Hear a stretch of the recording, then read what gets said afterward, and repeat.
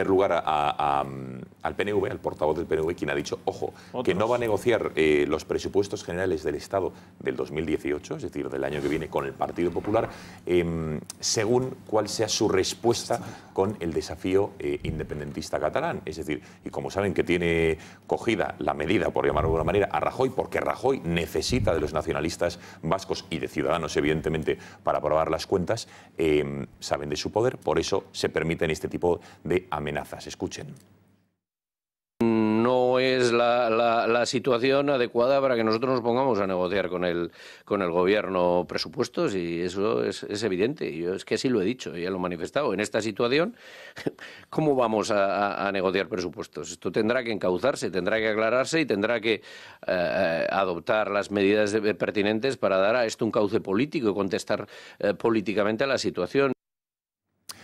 Fernando Valls, periodista de la información.com, buenas noches. Gonzalo, buenas noches. Bueno, Aitor Esteban, ha sido clarísimo. ¿Hasta qué punto tú crees que, que, es real esta amenaza, entre comillas, de los nacionalistas vascos de que o suavizan, digamos, su posición el gobierno con el desafío independentista catalán o que no van a apoyar las cuentas públicas? Ahí queda eso. No, yo creo que es bastante real. estos días, en este, este fin de semana, nos estamos jugando no solo el desafío independentista, lo que pueda ocurrir en Cataluña, sino yo creo que nos estamos jugando la legislatura. Yo creo que el PNV va en serio y que dependiendo de lo que haga el gobierno a partir del lunes, eh, apoyará o no apoyará los presupuestos. También es cierto, Gonzalo, que, en los presupuestos de 2017 del año, de este año perdón, se han pactado una serie de partidas plurianuales, el mismo cupo, también algunas infraestructuras como el AVE Vasco tienen una, un compromiso de inversión durante varios años y es cierto que en realidad hay un pacto, pero no está nada escrito, evidentemente. Em, ¿Cómo puede afectar entonces esto, Fernando, el hecho de que el PNV dé o no dé su apoyo a las cuentas públicas del año que viene? Porque Mariano Rajoy y el PP solo cuenta con el apoyo de Ciudadanos, que tendrá que labrarse, bueno, ganarse ese apoyo, digamos, pero si no es el PNV, ¿hay alguna otra formación que pueda permitir la aprobación de las cuentas públicas? Nada, la opinión en el gobierno, la, realidad es que no tienen ningún apoyo, con el PSOE, el nuevo PSOE de Sánchez no, pueden contar, con Podemos menos, con los eh, nacionalistas catalanes todavía menos después de lo que está pasando y ya ni digamos otras fuerzas minoritarias. Em, en realidad el PNV es la única baza que tiene el gobierno para salvar, ya te digo, la legislatura. Los planes del gobierno son los siguientes. Eh, si este año se aprueban los presupuestos, Rajoy da por hecho que podrá acabar los cuatro años en los que ha prometido crear 20,5 millones de empleos. Si no se aprueban, su baza es prorrogar este año y negociar los del año próximo. Em, por lo tanto, podría, en ese caso, adelantarse las elecciones generales, adelantarlas un año. digo, yo creo que en estos días se está jugando la legislatura los cuatro años o no que se cumplan. Bueno, adelantar las elecciones, eh, Fernando, pero es que incluso estos días hemos podido leer que el presidente estaba rondando un hipotético adelanto electoral en el caso de que el PNV no le apoye las cuentas y que esas elecciones coincidan también con unas hipotéticas o supuestas elecciones catalanas autonómicas también adelantadas.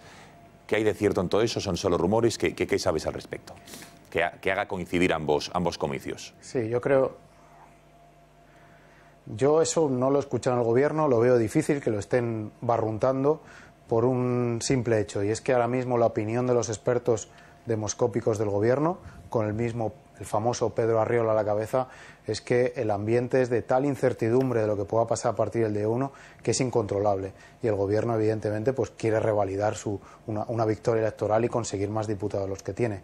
Yo creo que no se está barruntando unas elecciones generales.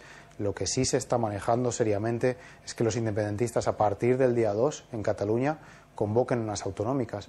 Ahí están todos preparados, empezando por el Gobierno, por el PP o por Ciudadanos o el mismo PSC.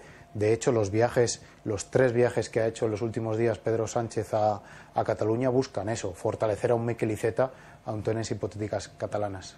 Una última cuestión. Bueno, antes de, esta última cuestión, en, el supuesto de que hubiese un adelanto electoral a nivel nacional, eh, Fernando, ¿el PP qué dice las encuestas? ¿Subiría?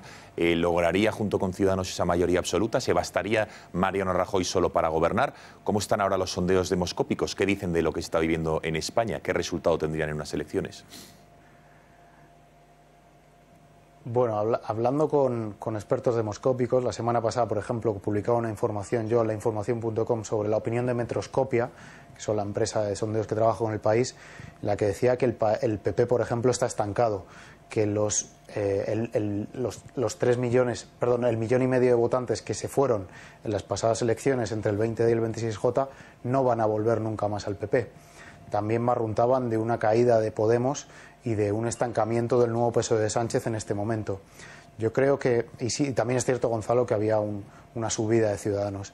Pero ya te digo, todo es muy volátil en este momento. Depende de lo que ocurra en Cataluña el domingo, pues van a sacarse muchas cosas en claro. También te digo que, en Moncloa son conscientes de que Rajoy se juega este domingo su futuro político. Si le sale bien la jugada, como le salió cuando no pidió el rescate, eh, pues hay Rajoy para muchos años. Incluso en Moncloa se hablan de las cuatro legislaturas de Merkel. Eh, pero si le sale mal, no te, no te queda la menor duda que la oposición interna del PP empezará a surgir. Ya hay varios varones autonómicos esperando a ver qué pasa el domingo para alzar su voz. Por último, Fernando, tú que estás muy cerca de las fuerzas y cuerpos de seguridad del Estado que en este momento se están volcando con el desafío independentista eh, catalán, eh, ¿qué sabes? Hemos ido informando en las últimas semanas de cuál es el estado, el tiempo que van a estar ahí, la suspensión de las vacaciones que los han destinado, Kiko nos iba a contar después por qué han ido tantos policías, el estado en unos cruceros, ellos mismos se quejaban, cuál es el ambiente que están viviendo eh, una vez han llegado ahí, están ahí destinados y se tienen que enfrentar con una situación tan tumultuaria como decían algunos. Bueno, pues yo mm, hablando con alguno de los que está allí o incluso algún mando que no que está dispuesto a viajar y no ha viajado, lo que me encontraban es que el ambiente es de mucha tensión, de que cada vez que salen a la calle, como ocurrió por ejemplo la pasada semana cuando se fueron acorralados en la sede de la Consejería de Economía y la Vicepresidencia, pues que, se sienten acorralados y acosados. En el puerto también la, decisión de los estibadores de no prestarle servicio pues les le ha cabreado bastante. Em, pero ellos tienen orden muy clara de ante las provocaciones no actuar. A ellos les dicen que no saquen la goma, como se llama popularmente en el argot, a, utilizar la porra. Y es que pues, la orden que tienen es esa, de que no provocar ningún conflicto, ningún encontronazo con, con cualquier ciudadano y en todo momento mantener la calma y que no haya tensión. Fernando Valls, periodista de la información.com. Muchísimas gracias por haber atendido la llamada del gato, la cámara del gato en este caso, y buenas noches. Gracias a vosotros, un abrazo.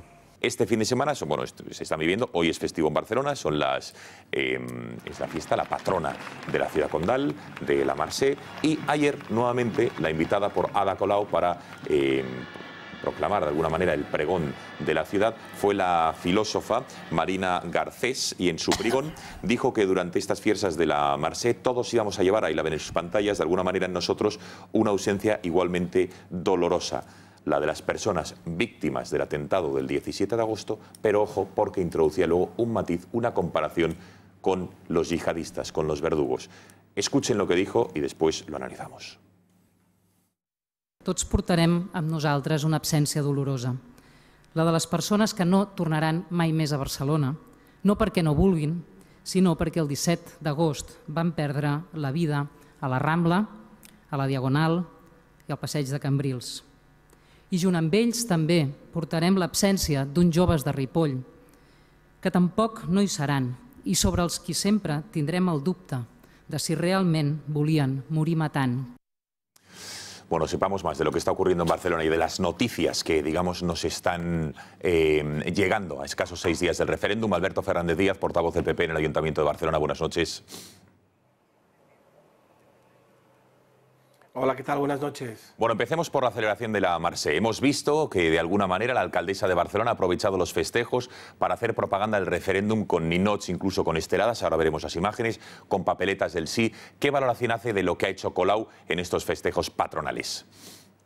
Bueno, una valoración muy positiva por parte de los barceloneses que con carácter eh, general abrumador pues han celebrado las fiestas eh, de la Merced de nuestra ciudad como no podía ser de otra manera, en convivencia, con civismo, eh, con educación, lo propio de unas fiestas. Otra cosa es el gobierno municipal y el independentismo que no han estado a, la altura y en ese sentido la alcaldesa pues, ha facilitado todo lo que ha podido que las fiestas de la Merced se politicen desde el pregón hasta las pancartas que eh, estaban en la Plaza San Jaume en favor de la independencia o la participación del independentismo incluso en conciertos oficiales de, la Marse.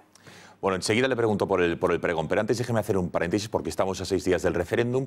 ¿Qué cree que va a pasar el domingo y sobre todo qué se tiene que hacer el día 2, lunes, para encauzar las relaciones de Cataluña con el resto de España? ¿Cómo lo ve usted que vive ahí y es del PP? Bien, yo estoy convencido que el domingo no habrá eh, referéndum ilegal, no se celebrará ese referéndum ilegal que no solo no tiene ningún tipo de garantías, sino que además eh, tiene eh, todo el rechazo legal y de amplios sectores de la sociedad catalana, que no por ser silenciosa son minoritarios. a partir del 2 de octubre, pues yo creo que mantener la actitud que el Partido Popular ha puesto de manifiesto y el propio Gobierno de España pulso firme para hacer cumplir la ley, cabeza fría para eh, no dar argumentos a aquellos que desde el independentismo buscan una confrontación y mano extendida, diálogo, que siempre es obligado y que en estos momentos eh, es imprescindible. Pero que nadie se equivoque, la prudencia y la moderación eh, es firmeza sensata y no debilidad. Bueno, las posturas parecen más irreconciliables que nunca. ¿Qué, cree que puede ser, señor Fernández Díaz? ¿Volver a un entendimiento y que vuelva la convivencia? ¿Eso es posible o a día de hoy ya es imposible? Será difícil, pero habrá que trabajar y lamentablemente habrá que construir nuevamente eh, la convivencia y suturar las heridas abiertas y cicatrizarlas durante muchísimo tiempo, porque esta eh, ofensiva, esta deriva, esta locura independentista encabezada por el señor Puigdemont, eh, siguiendo las órdenes de la batuta de, la CUP, eh, ha abierto grietas muy importantes en amigos, familias, vecinos, compañeros de trabajo, que habrá que eh, rehacer y eso no será fácil ni será una tarea inmediata. Pero evidentemente todos tenemos la obligación seamos independentistas, seamos catalanes que nos sintamos españoles, de volver a esa Cataluña convivencial que siempre lo había sido y que es el ejemplo, y desterrar pues lo que hemos visto en estas fiestas de la Marsella, donde, por ejemplo, el independentismo mm, no tenía el menor escrúpulo en politizarlo todo, incluso en plenos conciertos eh, musicales de, de la Marsella, donde se subían al escenario concejales de la CUP o diputados de Podemos para hacer alegatos en favor de la independencia y donde todos los asistentes, incluyendo los que no son independentistas, se tenían que tragar su mitin separatista. Por último, y ahora sí, em, explíqueme por el discurso de Marina Garcés en el pregón de la Merced, en el que, como hemos escuchado, comparaba a los autores yihadistas del atentado del 17 de agosto con las víctimas. Asociaciones de víctimas lo han calificado de ruin y despreciable. Usted que estuvo ahí, en el salón de plenos del ayuntamiento, ¿cómo vivió ese discurso? ¿Qué opina? Con una vergüenza y una indignación eh, descriptible. Quiero recordar que a esta pregonera la escoge personalmente la alcaldesa Ada Colau. Y no solo eh, comparó a las víctimas inocentes del atentado, eh, poniéndolas al mismo nivel que sus verdugos eh, yihadistas, sino que además no los calificaba como terroristas, sino que decía unos jóvenes de Ripoll. Y no contenta con ella, pues adornó su discurso eh, del pregón que debía ser de la fiesta de la Marsella, por tanto dirigido a todos los barceloneses, pensemos los que pensemos en ideas o en sentimientos de pertenencia, sino que además trufó su discurso de proclamas en favor de la independencia de Cataluña, en favor de los grupos antisistema e incluso de los ocupas eh, ilegales en nuestra ciudad. Una auténtica vergüenza e impropia de un pregón de la Marsella que debía ser pues, un acto de ciudad y que avalara el sentimiento de todos, insisto, al margen del partido al que pertenezcamos y de nuestro sentimiento de pertenencia. Queda clarísimo. Alberto Fernández Díaz, gracias por atender a las cámaras del gato y muy buenas noches. Buenas noches. Seguro que cuando le han puesto la última multa se ha dicho, tengo que llamar a publi.com y pedir un Angel Driver. ¿A qué espera? ¿A que le pongan la siguiente y quedarse sin puntos? Usted puede evitarlo llamando ahora mismo a publi.com 902-180-190. Pida el F10 de Angel Driver, el mejor avisador de radares del mundo.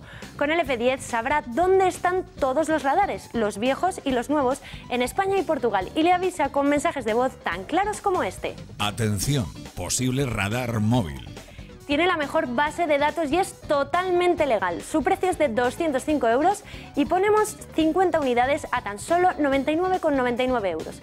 Y reciba de regalo una bandera de España para lucirla en su balcón o donde quiera. Pídalo ahora mismo en el 902 180 190. Con la primera multa que evite está pagado. Luego no diga que no le hemos avisado. 902 180 190 o publi.com. Entrega en 24 horas.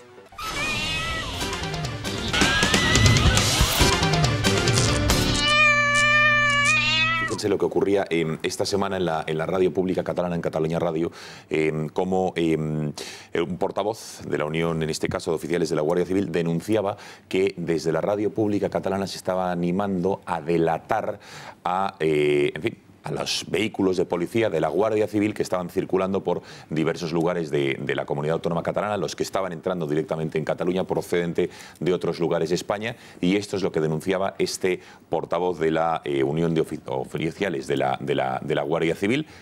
Vean el extracto. Soy el capitán Javier Montes, representante de la Unión de Oficiales de la Guardia Civil. Queremos denunciar que desde Radio Cataluña se está solicitando a transportistas y taxistas que se informe de los movimientos de las diferentes unidades de Guardia Civil y Policía Nacional. Por favor, os pedimos que no aportéis información de los desplazamientos y movimientos de las diferentes unidades de policía, ya sea Guardia Civil, Policía Nacional, Mossos o policías locales. La actual situación ante el referéndum no nos puede hacer olvidar que nos encontramos en alerta nivel cuarto y no podemos poner en juego la seguridad de cientos de personas. A continuación, os ponemos un audio de uno de estos llamamientos en el qual se solicita la informació de les diferents unitats de policia. És important que ens ajudin eh, els transportistes que estan eh, circulant ja perquè els taxistes i els transportistes veuen si hi ha moviment de cotxes de la Guàrdia Civil i de uh, furgones de la Policia Nacional. Com sabeu, estem compartint amb vosaltres aquest matí la informació que ens donen els oients del moviment de furgonetes de la Guàrdia Civil i tots terrenys i cotxes de la policia. Les últimes informacions que ens esteu donant a Igualada, en direcció a Barcelona, tres tot terrenys i una furgoneta de la Guàrdia Civil, a l'AP2, a Lleida, 15 vehicles de la Guàrdia Civil Estamos ya, les decía, con el vicepresidente de la Unión de Oficiales de la Guardia Civil, el capitán eh, Javier Montes. Bueno, capitán, cuéntenos. Em, usted de repente, no sé cómo les llega, pero em, que la semana pasada, entiendo yo, que desde la radio pública catalana se hacía este llamamiento para delatar posiciones concretas de la Guardia Civil y de la Policía, entiendo que refuerzos que estaban llegando a Cataluña, ¿no? Efectivamente, tenemos conocimiento que a través de ese medio, de Cataluña Radio, en el programa El Mati, eh, con, esta periodista en dirección de, este programa, se está haciendo un llamamiento público a facilitar información de esas diferentes caravanas de vehículos policiales que o bien circulan por Cataluña o bien se dirigen eh, a alguna zona en concreto. Y realmente nosotros no lo circunscribimos eh, simplemente al momento político del referéndum. Esta información lo que hace es eh, poner en riesgo esa seguridad pública. Mm, no podemos, no se puede consentir eh, una, información en la cual se está eh, desvelando eh, las unidades de vehículos policiales que se están desplazando o que están en determinados puntos. Ese es el hecho en concreto. Eh, ¿Sabe usted si tuvo algún tipo de éxito este llamamiento a, la, a delatar? Es decir, ¿hubo llamadas? Eh, hemos escuchado. Sí, hubo, Xavier? Eh, ya las no, no, no, hemos puesto dos, sí, hemos puesto, pero que, no, sé si a lo largo del programa la gente se iba llamando. Escuché el programa y en el programa entraba gente y ellos iban leyendo, pues nos dicen ahora que por la costa bajan tres ah. furgones y dos coches. Y, sí, efectivamente. esto fue así durante, durante horas, yo creo, por lo menos durante una hora fue así. Ahora, hay un detalle aquí, capitán. Esta señora es igual de funcionaria que usted. Esta señora vive en una cadena de radio, antes en una de tele y de radio, TV3 y Cataluña Radio, forman parte del mismo grupo público, público que pagamos a déficit todos los españoles. ¿eh? Esto nos cuesta más de mil millones para que usted entienda en parámetros, digamos, militares.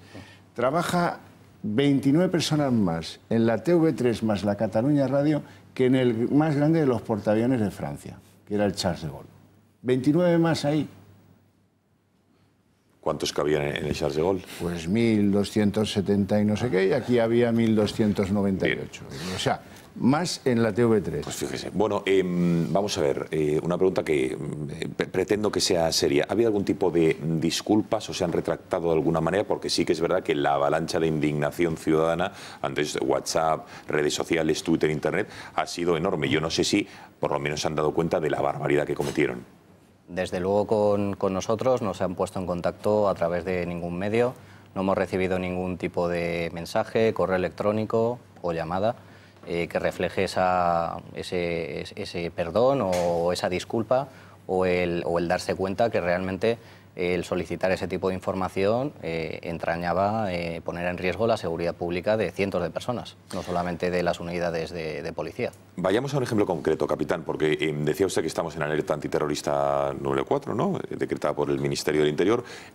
¿Qué hubiera podido suponer el hecho de que se llame desde los micrófonos de la radio pública catalana, que llega a toda Cataluña, es la que más postes, probablemente Xavi nos dará más detalles, tenga en toda Cataluña, es decir, si hay en todos los rincones de Cataluña, se pueden desbaratar operaciones antiterroristas, se puede en un momento dado eh, llevar al traste cualquier operación de la policía, de la Guardia Civil, porque entiendo que no todas las unidades de la policía y de la Guardia Civil están en Cataluña volcadas única y exclusivamente con el referéndum, ¿no?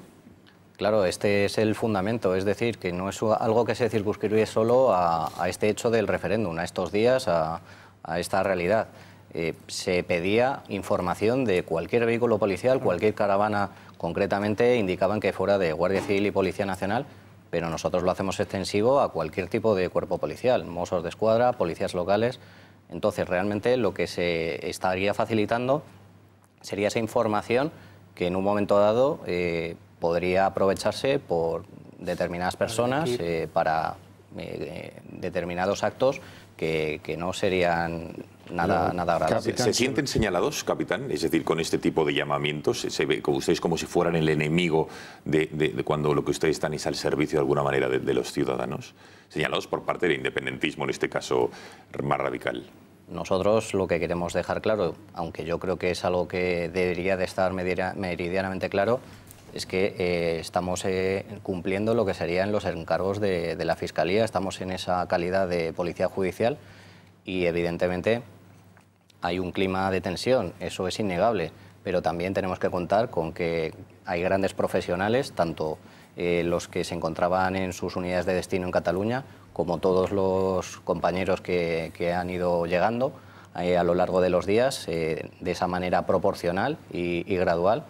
Y realmente aprovecharía desde aquí pues, para mandar un saludo a todos los compañeros y a toda la ciudadanía en general y decirles que no están solos, que somos muchos los que estamos detrás de ellos y intentaremos garantizar la legalidad y el orden constitucional. Venga, Xavi y Alejandro. No, muy, muy sencillo. Yo creo que el propósito de Mónica Terribes es impedir operaciones de búsqueda de las urnas, los papeles, las detenciones, todo eso de, del referéndum y, en segundo lugar, extender una especie de psicosis colectiva. Nos están invadiendo. ¿Eh? Han entrado, decía Puigdemont, por tierra, por mar y por aire. y esa, a esa idea es a la que ella pues, eh, contribuye con dinero de todos los españoles que estamos pagando el déficit de las seis emisoras de radio y otras tantas de televisión que han construido en Cataluña. Alejandro. Sí, no, vamos a ver, yo por, por razón de, mi, de, mi, trabajo me ha, me ha tocado muchas veces pues bueno, contar despliegues policiales, pues cuando ha habido una manifestación, una huelga general, unas elecciones, un rodeo al Congreso y ahora el desafío separatista, ¿no? Y cuando consigues que una fuente policial o de la Guardia Civil te cuente el despliegue, de cuántos van, cuántos suben, siempre te piden que des pocos detalles, aunque sea el mero hecho de, dónde parten esas unidades, porque el mero hecho de decir de dónde parten, estás diciendo al mismo tiempo dónde dejan de prestar servicio y dónde hay menos seguridad, ¿no? Entonces es una realidad a la que se enfrentan las fuerzas de seguridad del Estado todos los días, es decir, intentar ser lo más discretos posibles en cuanto a no reflejar los movimientos, porque, como se dice en algo, es dar pistas a los malos. A partir de ahí, teniendo aquí al capitán, me gustaría hacerle una pregunta. Hoy se ha conocido un pronunciamiento del Ministerio del Interior donde em, ha manifestado su rechazo a esos homenajes organizados en acuartelamientos en comisarías de la Policía y de la Guardia Civil a la hora de despedir a las fuerzas de seguridad del Estado que van para Cataluña. Como sabe, han, circulado por redes sociales y por teléfonos móviles muchos vídeos tanto de personas que de manera espontánea apoyaban en la calle, fuera, que eso el Ministerio del Interior dice que no lo va a valorar, que son reacciones espontáneas. ¿A esto te refieres? ¿Cómo? ¿Lo que dijo? Sí, este tipo de, de- de- de vídeos. ¿no? Lo que- el Ministerio del Interior no quiere valorar este tipo de eh, reacciones espontáneas que son de la gente y evidentemente puede hacer lo que quiera, sino que ha habido otros donde sí que se ve dentro de un cuartel de la Guardia Civil o de una comisaría de la Policía Nacional donde bueno, pues se hace una despedida especial para, para lo- los agentes de las fuerzas de seguridad que van dentro de ese despliegue en Cataluña. Yo quería preguntarle, capitán, qué le parece esa reacción interior, si está de acuerdo, si cree que no se tendrían que haber producido o si cree que interior bueno, se equivoca con esa apreciación.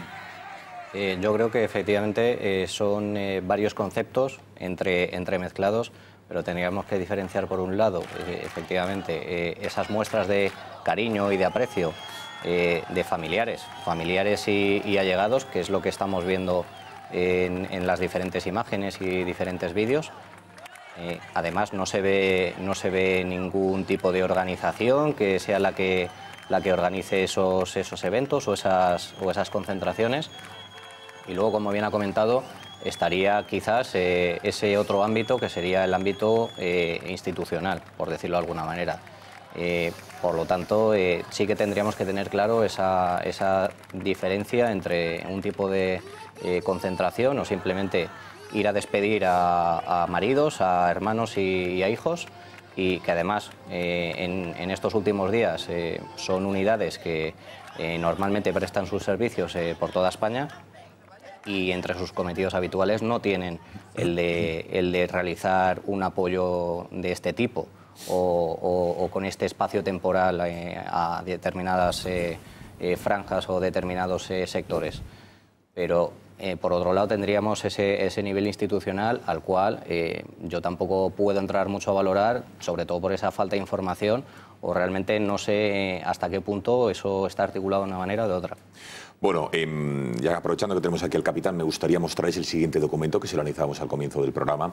Se trata de nuestro equipo de investigación que llevan unos días en Cataluña y hoy vamos a mostrarles el primer documento de una serie de, reportajes que les vamos a mostrar en los próximos días.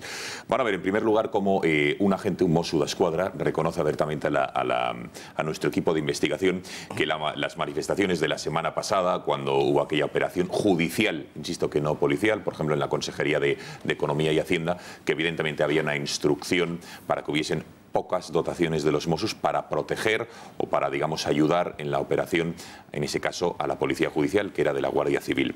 También se le pregunta, eh, bueno, ¿y los Mossos a qué están? Y él dice, no, no, yo estoy para acatar la Constitución, pero no todos mis compañeros acatan la Constitución, aunque acaba reconociendo que la mayoría de los cabos, de los sargentos, de los Mossos de Escuadra, sí que están por la Constitución, que es la, digamos, la garante de todos. ¿no? Dice que en muchas ocasiones que están atados de pies y manos por las órdenes policiales y ojo porque en la manifestación que hubo el viernes pasado, espontánea delante de la, de la Asamblea Nacional Catalana, también nuestro equipo de, de- de investigación se desplazó ahí y van a ver cómo em, los Mossos de Escuadra de alguna manera permiten que haya una contramanifestación de independentistas, eh, no la disuelven, no, la, no disuaden de que se manifiesten contra los, los que estaban ahí catalanes que quieren seguir siendo españoles con banderas catalanas y, em, y permiten incluso provocaciones por parte de los independentistas a los no independentistas y ojo porque en un momento van a ver cómo a nuestro eh, reportero de investigación le confunde un mozo escuadra con un guardia civil y casi casi le tratan como una amenaza, ¿no? Como guardia civil infiltrado, ojo, ojo, cuidado con este, le empiezan a señalar, como si fuese una amenaza el hecho de ser un guardia civil infiltrado en este caso. Vean. Una concentración de no independentistas formada por familias, padres con hijos, jóvenes, mayores de edad, que aparentemente no suponen ningún peligro. Aún así, el mando de los Mossos pide refuerzos. El ambiente comienza a ponerse tenso entre ambas partes.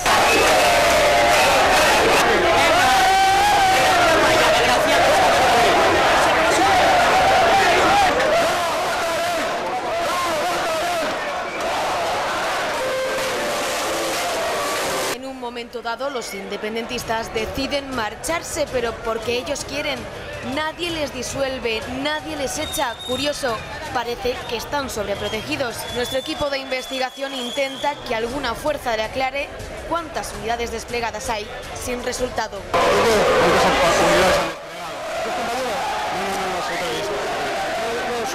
Cada cuántas unidades equivale, soy periodista.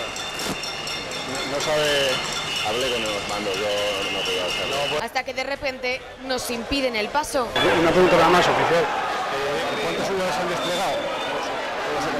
No sabe, pero ha pedido refuerzos. Eh, Le he oído pedir refuerzos, si antes. No, no pido refuerzos. No, no, no. Yo que es periodista, recuerdo si no que es periodista. Pero bueno, pues... Ha dicho que soy guardia civil, que no soy periodista. Eso he dicho.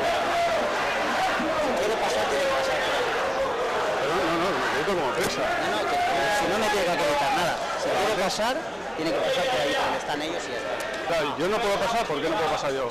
Por el medio en que trabajo. Inténtelo por allí. Compañero, se lo ha dicho el subinspector, nosotros somos unos mandados. Cumplen órdenes, algo de lo que ya nos habíamos dado cuenta. Pero vosotros, ¿a quién obedecéis, macho? Es que es jodido.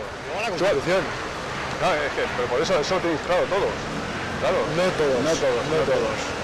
Claro, pero es que claro... La, la inmensa mayoría sí, ¿eh? La inmensa mayoría sí. Incluso gente que es nacionalista entiende que las cosas no son así. No, no- este no es el camino. Claro, o sea, el, el destino sí es el mismo, pero el camino... El destino cada uno puede escoger el que más le guste, pero el camino, las cosas hay que hacerlas bien. Estamos muy atados de manos. Claro. Muy atados de manos. Pues han eh, dicho una norma de... No, no, no, explícita. Pero sí indirecta. Pero no, ya, ya ves, ya ves cuando montan un dispositivo, por ejemplo el del otro día de la Guardia Civil, de ayer de la Guardia Civil, para sacarlos del, del Departamento de Enseñamiento de Economía, pero nosotros ya veíamos que con la fuerza que teníamos, con la, perdón, con la fuerza que íbamos a usar, no podíamos desplazar a la masa dos metros para facilitar la salida. Claro, y eso el mando lo sabe, lo que El pasa mando lo sabe y el mando de mi mando lo sabe, pero hay uno arriba que también lo sabe seguramente y posiblemente hasta le interese. No, no, claro, claro. Que, haya, que hagamos un para atrás. Con esto queda claro la influencia política y el uso del independentismo en las fuerzas policiales. Impacta ver y oír algo de lo que todo el mundo habla, pero que hasta ahora nadie había mostrado. Bueno, desde luego es llamativo eh, lo que se dice de aquí en dicen, bueno, yo a la Constitución, no todo el mundo, y después como grupo de orden público que están atados de, de pies y manos y reconoce que en ese dispositivo de los Mossos de Escuadra desplegado el jueves de la semana pasada, o miércoles, ya no recuerdo bien, Miércoles. miércoles, bueno, que directamente se- se- la dotación de, de Mossos fue menor de la que se requeriría para una operación, digamos, de esa envergadura. No sé cómo analiza usted, capitán, estas imágenes. Yo creo que es un claro ejemplo de esa necesidad de ese mando de coordinación policial, precisamente para que se puedan valorar eh, las diferentes situaciones que se vengan produciendo y se pueda establecer un dispositivo adecuado para tal efecto. Cuando además, eh, vamos, no es, eh, no es que lo estemos valorando ahora mismo, sino que llevamos determinados días viendo a través de diversos comunicados y diversos medios de prensa eh, realmente eh, dispositivos en los cuales quizás eh, no se hayan llevado a cabo de, de una manera lógica o quizás esos mandos policiales de, de Mossos de Escuadra tengan cierta influencia de ámbito político. Realmente yo creo que es totalmente adecuada la medida de este mando de coordinación policial que se va a encargar precisamente de ir analizando todas y cada una de las situaciones que se vayan dando. Venga, eh, eh, Julio.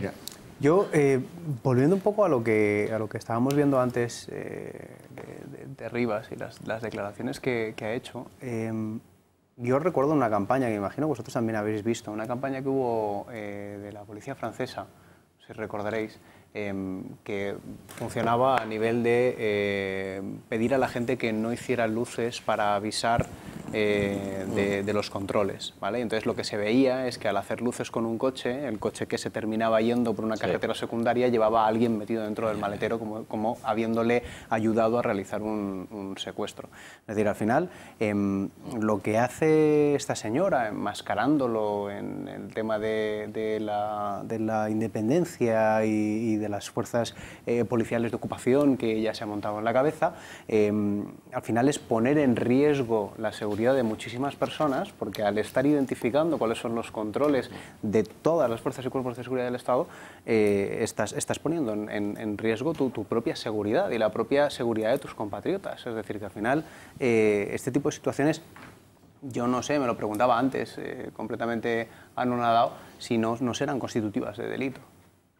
Sí, por supuesto que son constituidas de delito y precisamente por eso eh, esa, esa, intervención de, esta periodista fue el pasado día 22 y al día siguiente, el mismo día 23 por la tarde, formulamos denuncia penal contra, contra ella eh, en base al artículo 559 del Código Penal.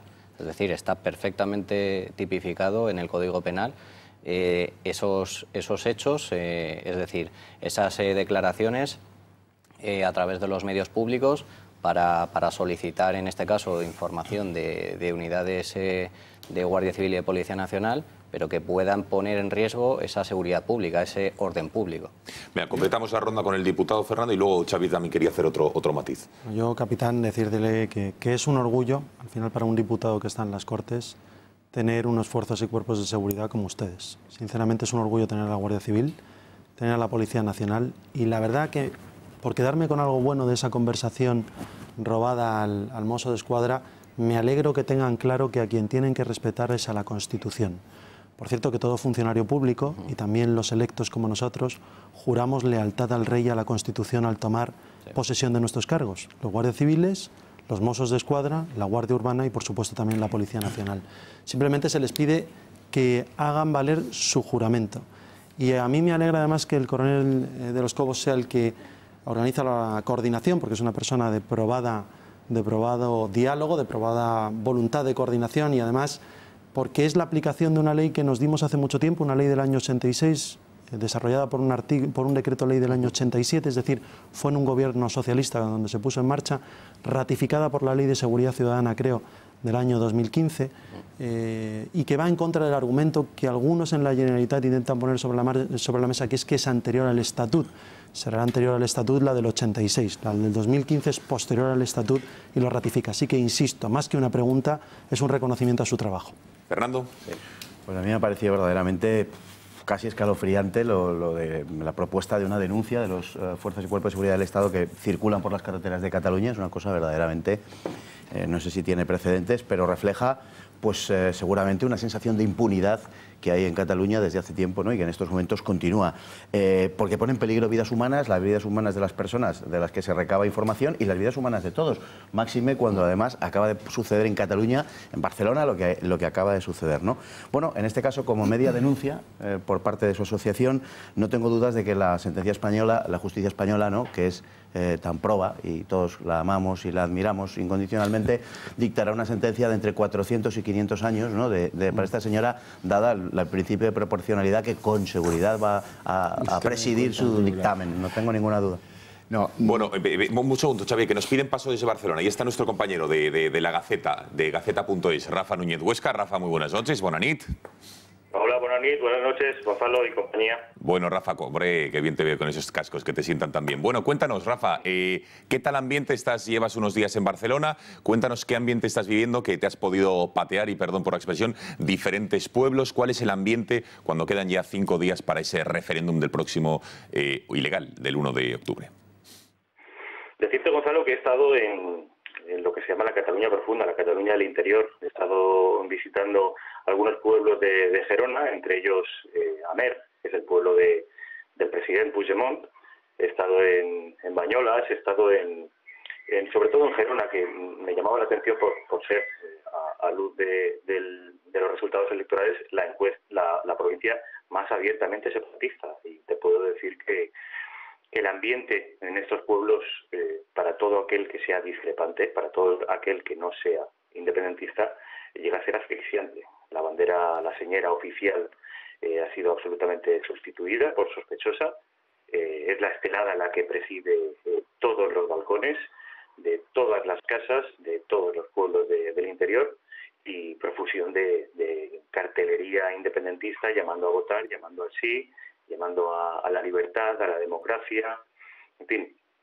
A mí me ha recordado un poco, eh, porque ya digo que, el paisaje es estremecedor, a, los años eh, los años más duros de, del País Vasco, en, la Guipúzcoa profunda, eh, aquellos pueblos pequeñitos, hermosos, porque, porque mm, la provincia de Gerona es, preciosa, pero absolutamente politizados.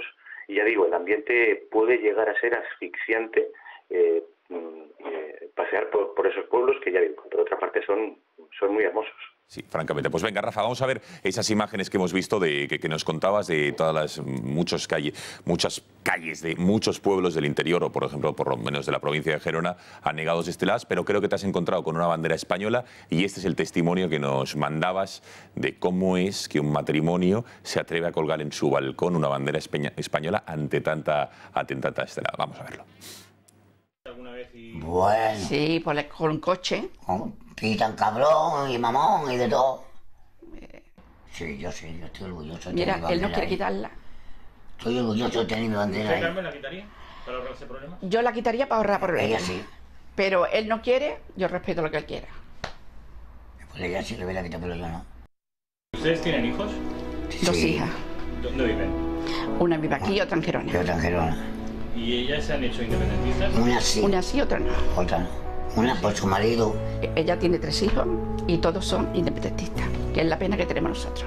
Los- ¿Sus nietos son independentistas? Eh, Los de Gerona sí. De Gerona sí, mi nieto Gerard y, El Gerard, Biel y Jenny son y independentistas. Biel son, se han hecho independentistas. Pero ahora, de un año, de un año, Más de dos. do- sabemos que porque ha dejado de hablarnos y todo. Déjame, me dejo de hablar ni tú. Te cuento lo que pasa aquí. Por la cuestión de la independencia. O sea, eso de que se habla de que en Cataluña empieza a haber fractura social Sí. y familiar. Sí, Eso exacto. ¿Cierto? Como, Cierto te- como Manuel como que que me en mi familia lo estamos pasando. Como Manuel que me llama. Una Sí, pena muy grande. para mí. muy grande, muy grande. Ella lo siente más. Escucha, llevamos cuánto? Dos o tres años que no me van los nietos de mi casa, de la grande. Por una cuestión de política. Sí, señor. Para que lo sepa. Y lo he criado yo, de pequeñita. Y de pequeño al mayor le hago. Al mayor he... No, ya está bien. Pero, pero me da pena. Bueno, Rafa, enhorabuena por, por, por, por estos reportajes que estás dando y brevemente, familias rotas, lo acabamos de comprobar, pobre, pobre, pobre señora, su propia hija. Bueno, era verdad. Eh, Junqueras y Puigdemont llevan negándolo desde hace meses y no años y hemos podido comprobar. Eh, no, es, no es el único testimonio que me he encontrado, pero, pero sí el más, el más dramático, porque es dramático. Es eh, una, una pareja de, andaluces que, vinieron hace 50 años a Gerona y su descendencia ya es abiertamente independentista hasta el punto de haber roto los vínculos eh, familiares eh, con sus padres. Hace, lo dicen en el vídeo, hace dos años que no ven a sus nietos porque sus nietos consideran que, que, forman parte de- son colonos. Es decir, esto no lo dicen sus nietos, obviamente, pero es la lectura así que se desprende. Hay una, una ruptura eh, emocional y sentimental entre amigos y entre familiares también. Queda claro. Rafa, te vemos, te leemos en, en, en la Gaceta, en gaceta.es. También en el- van a poder ver este, el vídeo en su integridad dentro del canal de, de YouTube de, de la Gaceta, que les animo a que se suscriban y que lo vean. Gracias, buenas noches, mañana más. Venga, muchas gracias.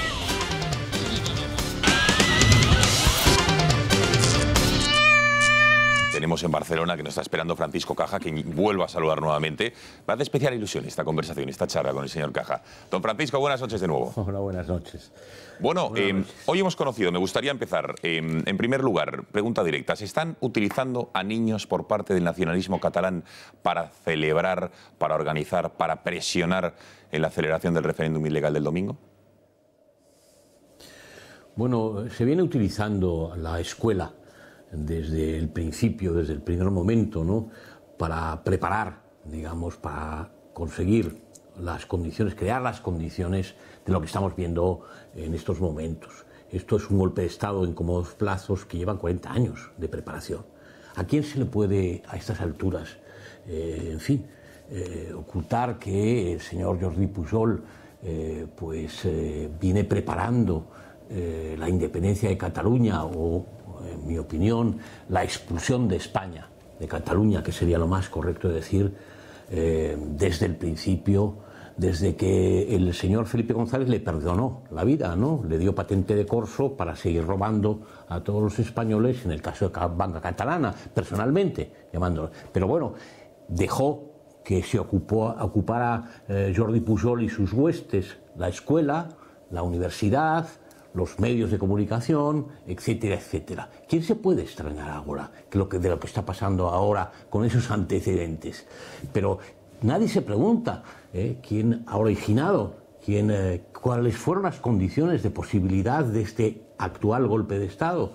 Y inequívocamente hay que buscar la responsabilidad en eh, nuestros políticos, los gobernantes, los, en fin, el gobierno central, los eh, señores del Partido Popular, del Partido Socialista, han permitido, han concedido la impunidad, la patente de corso al nacionalismo. Y no han ah, desperdiciado el tiempo, han aprovechado la ocasión, la necedad política de los dirigentes del PSOE y los del PP, el gobierno español, el gobierno central, para crear las condiciones. Y no han reparado ¿eh?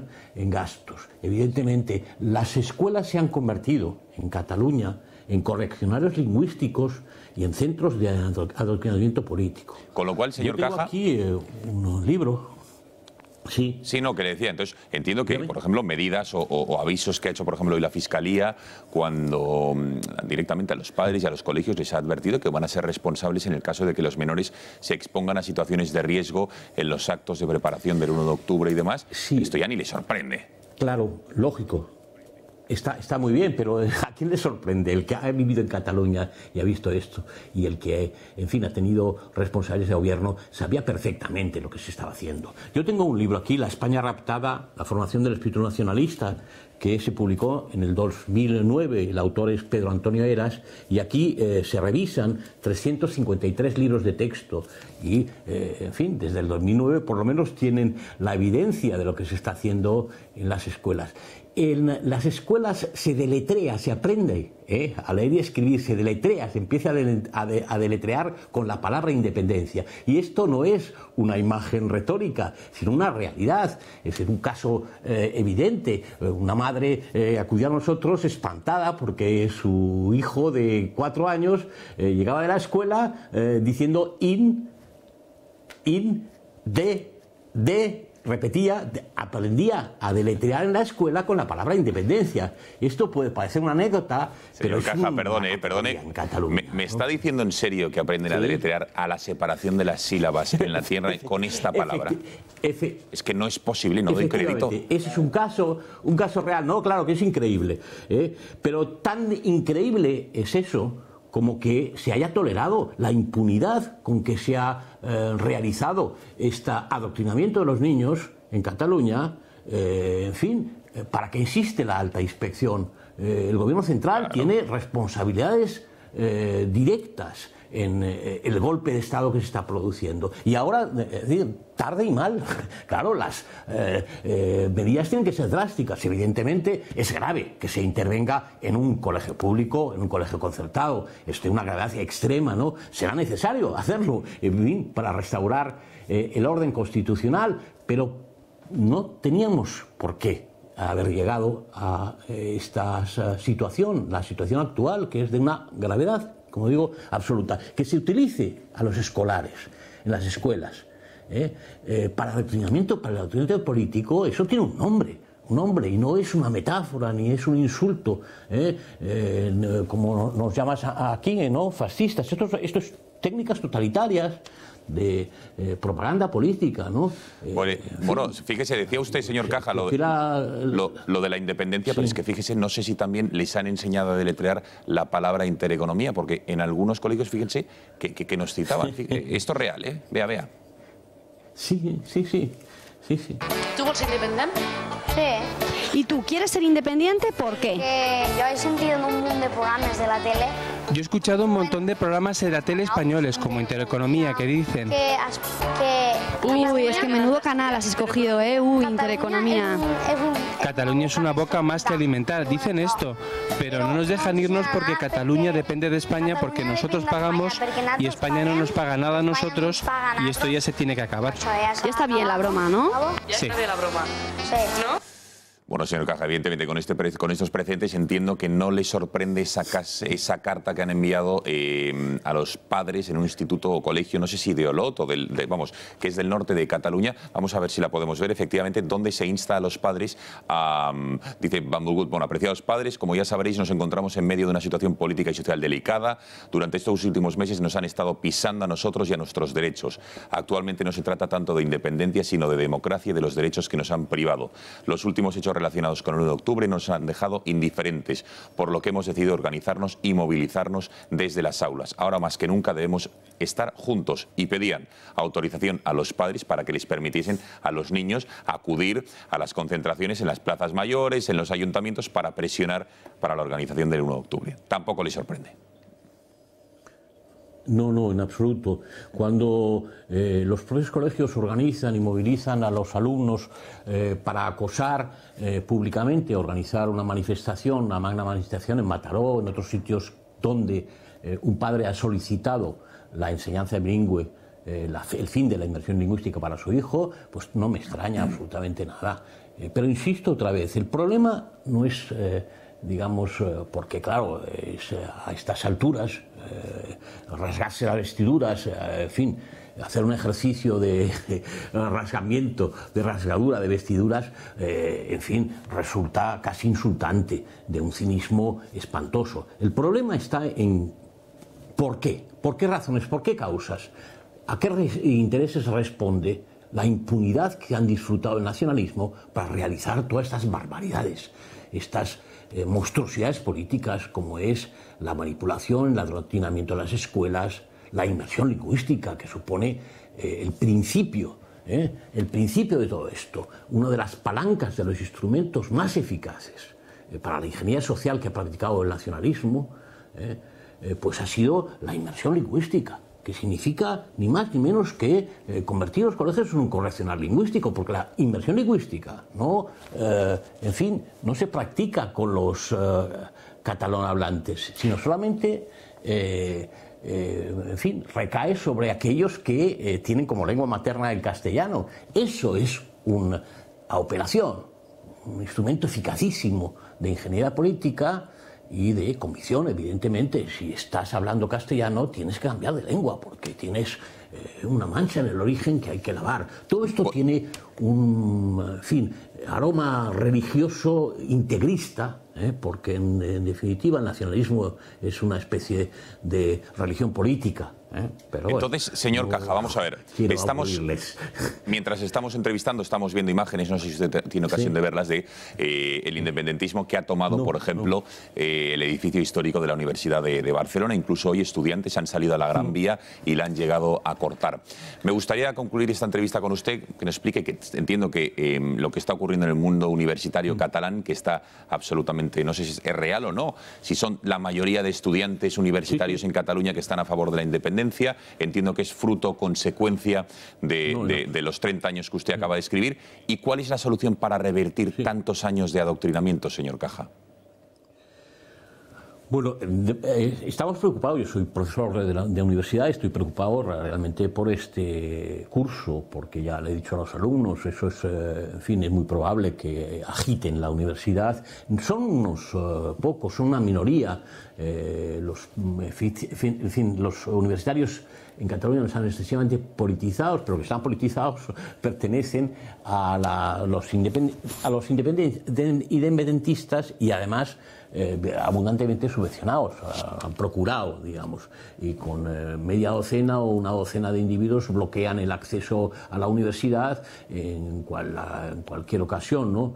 Evidentemente, eh, el remedio es primero, en fin, reflexionar cómo ha sido posible esto, insisto, y desde luego intervenir, es el momento de la fuerza, de ejercer la violencia legítima, la del Estado. para está, es decir, las leyes eh, sin eh, una violencia legítima que las eh, castigue o que impida digamos, la violación de la ley, no, tiene sentido, no es ley. ¿no? Pues ahora, en fin, eficazmente. Y lo primero que hay que hacer es aplicar el artículo 155, porque si no se aplicará el estado de excepción. Y el artículo 155, y es muy claro, recae, digamos, la intervención recae sobre los poderes públicos. El estado de excepción, que se aplicará eh, en fin, eh, si no se aplica el artículo 155, recae sobre los derechos de los ciudadanos. Ese es el problema. El problema está en que los sucesivos gobiernos han intercambiado derechos y libertades cívicas eh, por cuotas de poder. sale muy barato, pero ahora, en fin, el problema está en que eso les ha, eh, digamos, funcionado durante 40 años que han seguido haciendo sus negocios, ¿no? Pero Sí. ahora ya la- el negocio eh, se les ha puesto difícil porque, en fin, la avidez de los nacionalistas y, eh, en fin, la cercanía de sus objetivos han, disponido, han dispuesto eh, 40 años para, para preparar ese golpe, eh, pues eso es lo que está sucediendo ahora. Totalmente. Eh, señor Caja, antes de despedirle, creo que hay un tertuliano, Iván Espinosa Los Monteros, que quería decirle algo. Bueno, Venga. yo solamente quería saludar a Paco Caja, felicitarle por su eh, valentía, por su compromiso, por su eh, lucha infatigable. Realmente si hubiera más Paco Cajas en España, yo creo que nos iría mucho mejor a todos. Eh, decir que ha sido un honor para mí marchar junto a él estos últimos cuatro o cinco años, cada 12 de octubre, en esa marcha que se hace en la Plaza Cataluña. Espero poder hacerlo este año también. Y de nuevo, felicitarle, saludarle y desear que hubiera muchos más Paco Cajas en España. Pues don Francisco Caja, muchísimas gracias por haber atendido a las cámaras del gato y muy buenas noches. A ustedes. Buenas noches. Bueno, vamos a ver, eh, un cántico que a mí me hace especial gracia, la verdad es que yo me lo tomo a broma, pero es que yo creo que yo creo que es serio, pero bueno, a ver cómo lo ven ustedes. Unos niños eh, cantando un himno, que es evidentemente que no lo han inventado ellos, no lo han compuesto ellos, se lo han enseñado los profesores. Fíjense, la verdad es que la sintonía es pegadiza, si no llega a ser porque el contenido de la letra es francamente preocupante. Vean.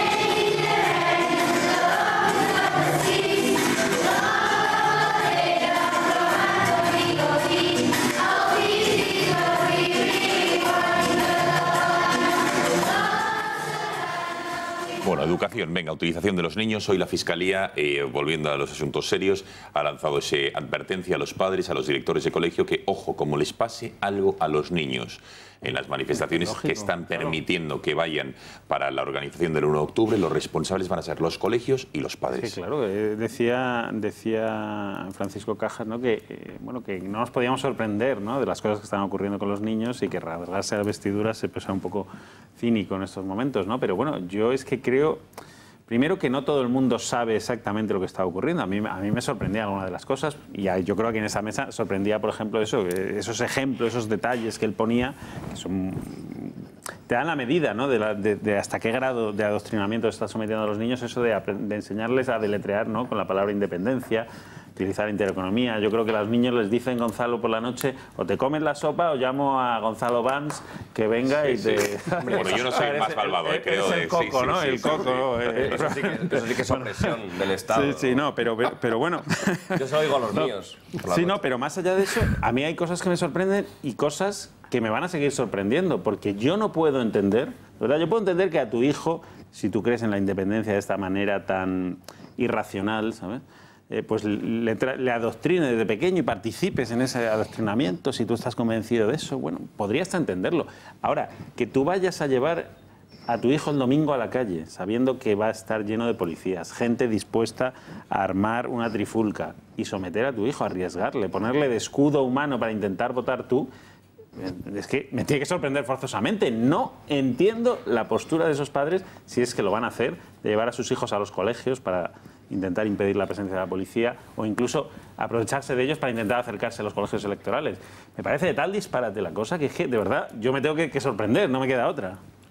Yo es que creo que cuando se infantiliza el debate, pues... No, pero... No, no, no, para nada lo justifico, pero quiero decir, cuando, repito, vamos a las bajas pasiones, a la emoción y al infantilismo total del sí, no, buenos, malos, eh, pues claro, lo que permite es que, entre comillas, todos sean capaces de participar de ese debate. Que no quiero decir que los debates intelectuales separen a los niños, pero si el niño ve que es tan sencillo de sus padres como esos son los malos y esos son los buenos, pues cualquier hijo sabe Sí, que sí. contra los malos se lucha. Y ya si le pones el tono heroico, pues lo sacas. Lo- lo- la racionalidad que hay que pedir es la que no hay, pero en todos los planos. La racionalidad que le pides a los gobernantes, que por cierto, claro, es que tenemos a los que tenemos allí y aquí, y eso no ayuda, porque en general, si tienes a los del 3% eh, debatiendo con los del no sé cuántos por ciento, pues la cosa se complica. Pero si les pide racionalidad a los gobernantes y no la hay, le pide racionalidad a los padres y no lo hay, y lo que tiene son estas cosas, pues ¿qué va a hacer? el- qué decir, el, el niño... Pero no solo racionalidad, yo creo que es, No, es el sistema que ha funcionado en Cataluña. pierde. Pero en Cataluña y en todas partes. No, decir, no, porque no pero- dejamos a los niños en general, No, en pero me general, refiero- no, hombre, fuera de todo. Vamos a ver, hoy en día tú, en, en, no sé, en- fuera de Cataluña a un niño no le pones a deletrear, yo qué sé, revolución o, o independencia. no, es decir, algunos sí lo querrían, Javier. ¿eh? Algunos sí, sí, estoy contigo, Gonzalo, pero esperemos que no, por ahora no ha llegado todavía, que yo sepa. ¿eh? Que yo Creo que quiero hacer la comparación, pero también se les No, enseñan refiero- religiones a los niños de Pero manera solo- que no igual no, solo- se debería. que- desde luego que esto es infantilizar el debate y, y cha- eh, volverlo chabacano es fundamental a la hora de hacer la agitación, Claro, ¿no? Pen- y para- y para abrirlo al máximo pero posible. que un padre lleve a su hijo, o haya gente que se muera por llevar a su hijo a ese holgorio, no es solo por un infantilismo, eso es porque hay que, el- porque hay que hacer méritos, hombre. Y, y llega un momento en que llevas a tu hijo, es decir, eh, llegas a tu hijo. Yo a mi hijo, es decir, yo una vez tuve una, una pequeña, eh, no discusión, amigable discusión sobre si hay que llevar a los niños a las manifestaciones. Mi opinión es que no, es decir, no hay que llevar a los niños a las Bueno, manifestaciones. yo dudo de si hay que llevarles a los estadios de fútbol. Claro, es decir, pues, hay cosas para cada momento, ¿no? Es decir, pues desde luego no puedes que vayan a llevar mañana a sus hijos, digo, el, perdón, el domingo a sus hijos, mm, a sus a los niños que se vean en ese vídeo que me parece terrorífico. Es que nos hemos vuelto locos. Pero es que pueis poner en riesgo su integridad física. No solo y su integridad. Me mental, parece- por favor. parece- No, también, eso por supuesto. Esa, esa Estás, destrozando a una persona, es decir, que hay que formar, ¿no? Es decir, la estás educando en el odio. Esto es como cuando antiguamente en los pueblos remotos, y malos. en el País Vasco llegaba la abuela y decía, cómete el bocadillo que si no vendrán los españoles y te lo quitará.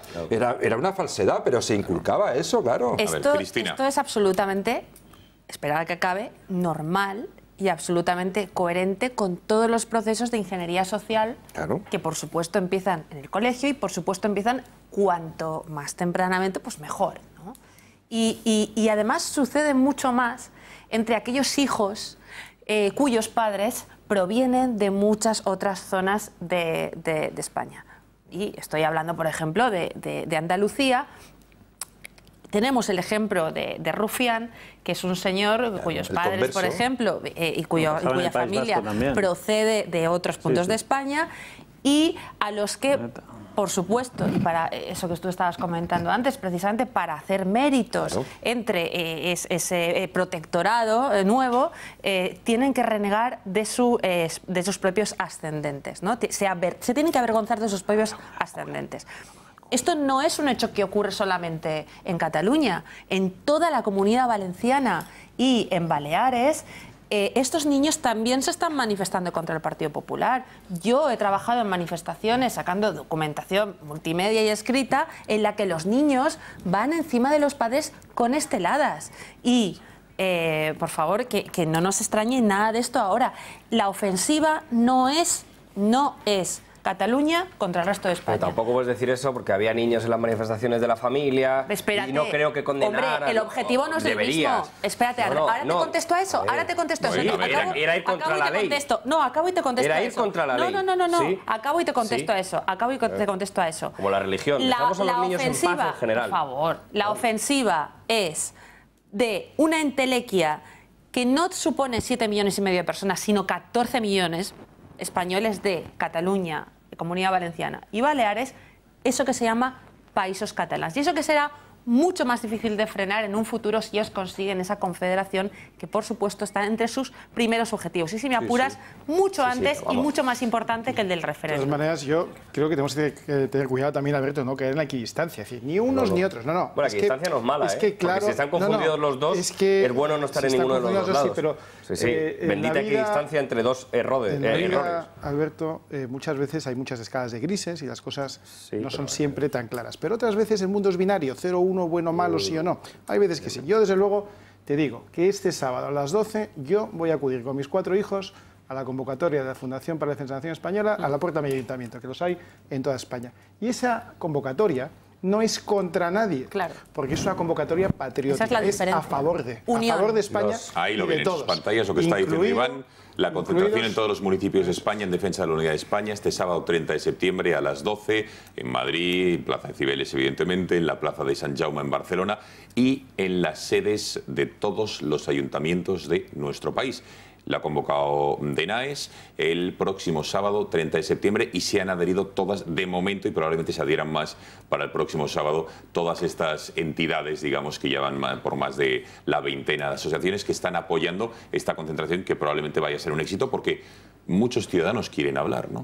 Es que yo creo que estamos Iván, todos una- pensando, a ver, Iván, ¿qué va a Una pasar? pregunta a, a colación de esto que, que dices. ¿Tú llevarías a tus hijos si tuvieras la, la sospecha de que hay una alta probabilidad de que pudiera haber ahí disturbios? Yo no eh, llevaría a mis hijos claro. a un disturbio en ningún caso. Claro, Yo claro. lo que digo es No, no, que estamos no, no, es que constantemente eso en Barcelona va a ocurrir, eso preguntándonos es qué va a pasar y lo que tenemos que empezar a preguntar es qué vamos a hacer. Y los ciudadanos tenemos muy poquitas ocasiones de hacer, porque teóricamente hacer se lo hemos dejado a los políticos. Pero como los políticos no hacen lo suficiente, pues creo que nosotros los que no somos separatistas, los que nos preocupamos por el bien de España, los que somos que tenemos un sentido patriótico, que el patriotismo, a diferencia del nacionalismo, no es excluyente. Esto no va contra los catalanes, va a favor de todos los españoles incluyendo a los catalanes. Pues bien, los que tenemos un mínimo sentido del patriotismo, los que tenemos un mínimo sentido de la importancia de la unidad de España, tenemos que salir a manifestarnos, a hacer algo, aunque sea un día al año, será este sábado a las 12, a favor, a favor de España. Y por supuesto que iremos con nuestros niños y por supuesto que será un ejercicio de civismo y también una pequeña lección para que nuestros hijos entiendan que a veces las cosas hay que lucharlas y que no todo nos viene gratis, que algunas cosas cuestan un esfuerzo y que en este caso estamos sometidos a una enorme presión de unos que nos atacan y nos tenemos que defender. Y eso es a favor. Bueno, ya lo saben, el sábado a las 12, desde aquí, eh, muchos miembros del Grupo Intereconomía irán, nuestras cámaras también, para dar cobertura, incluso dar voz a tanta gente del resto de España que se siente impotente. Y ojo,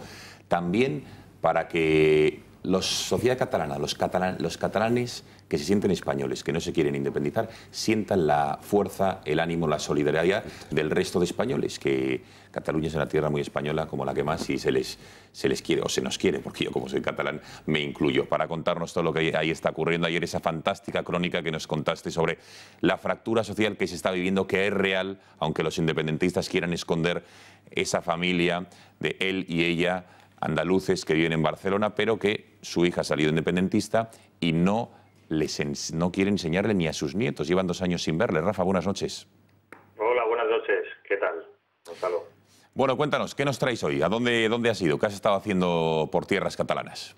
Bueno, he estado, he continuado mi periplo por, por el interior de Cataluña, en este caso por el interior de la provincia de Barcelona. He estado en Arenys de Munt, que es, eh, como sabéis, es el primer pueblo, la primera población catalana que eh, ya allá por el año 2009 celebró el primer referéndum de autodeterminación, eh, ficticio y obviamente no vinculante, pero fue un, un símbolo y de hecho es un, un lugar de peregrinaje para el, para el nacionalismo. Munt eh, de alguna manera inició ese, esa oleada de referéndums locales que luego llegaron casi hasta 600 referéndums y fue Munt eh, el que dio el pistoletazo de salida y hemos entrevistado al alcalde. Mañana en la Gaceta tendremos la, la entrevista completa de Joan Rabaseda, de Esquerra Republicana, que nos habla cómo se ve desde este pueblo el procés y, y qué esperan a partir del 1 de octubre.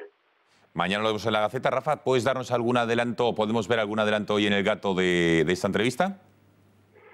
Bueno, eh, eh, Joan Rabaseda está convencido de que vamos a ser eh, dos pueblos eh, bien avenidos, vamos a ser vecinos.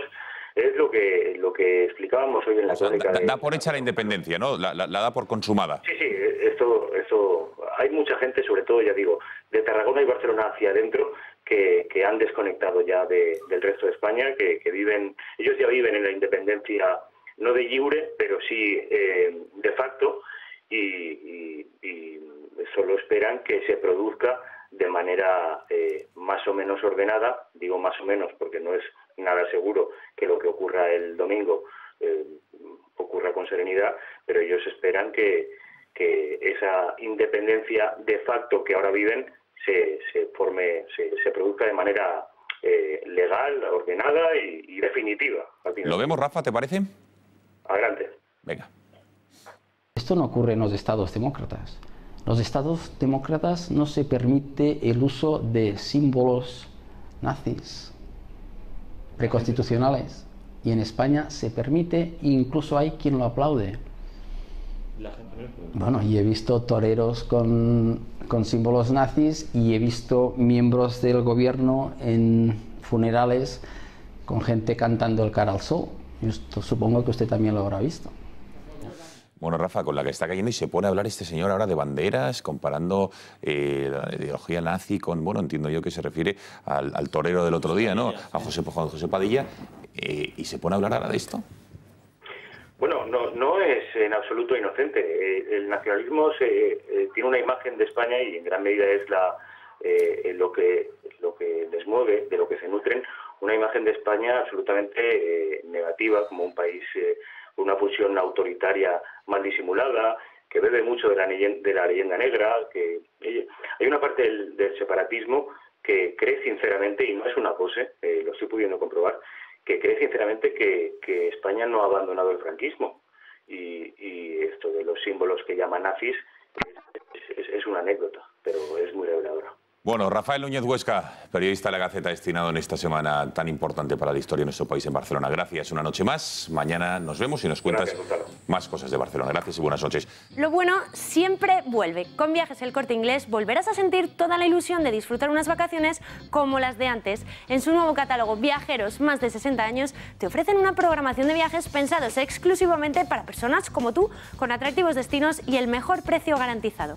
En el catálogo Club de Vacaciones encontrarás la respuesta para todas esas personas a las que les queda mucho por descubrir con experiencias únicas e inolvidables. Y para tu mayor comodidad te ofrecen su ventajoso sistema de pago aplazado, hasta tres meses sin intereses con la tarjeta de compra del Corte Inglés. Y no olvides que Viajes El Corte Inglés es agencia acreditada para tramitar las reservas de viajes Inserso en cualquiera de sus puntos de venta. Viajes El Corte Inglés, expertos en viajeros más de 60 años.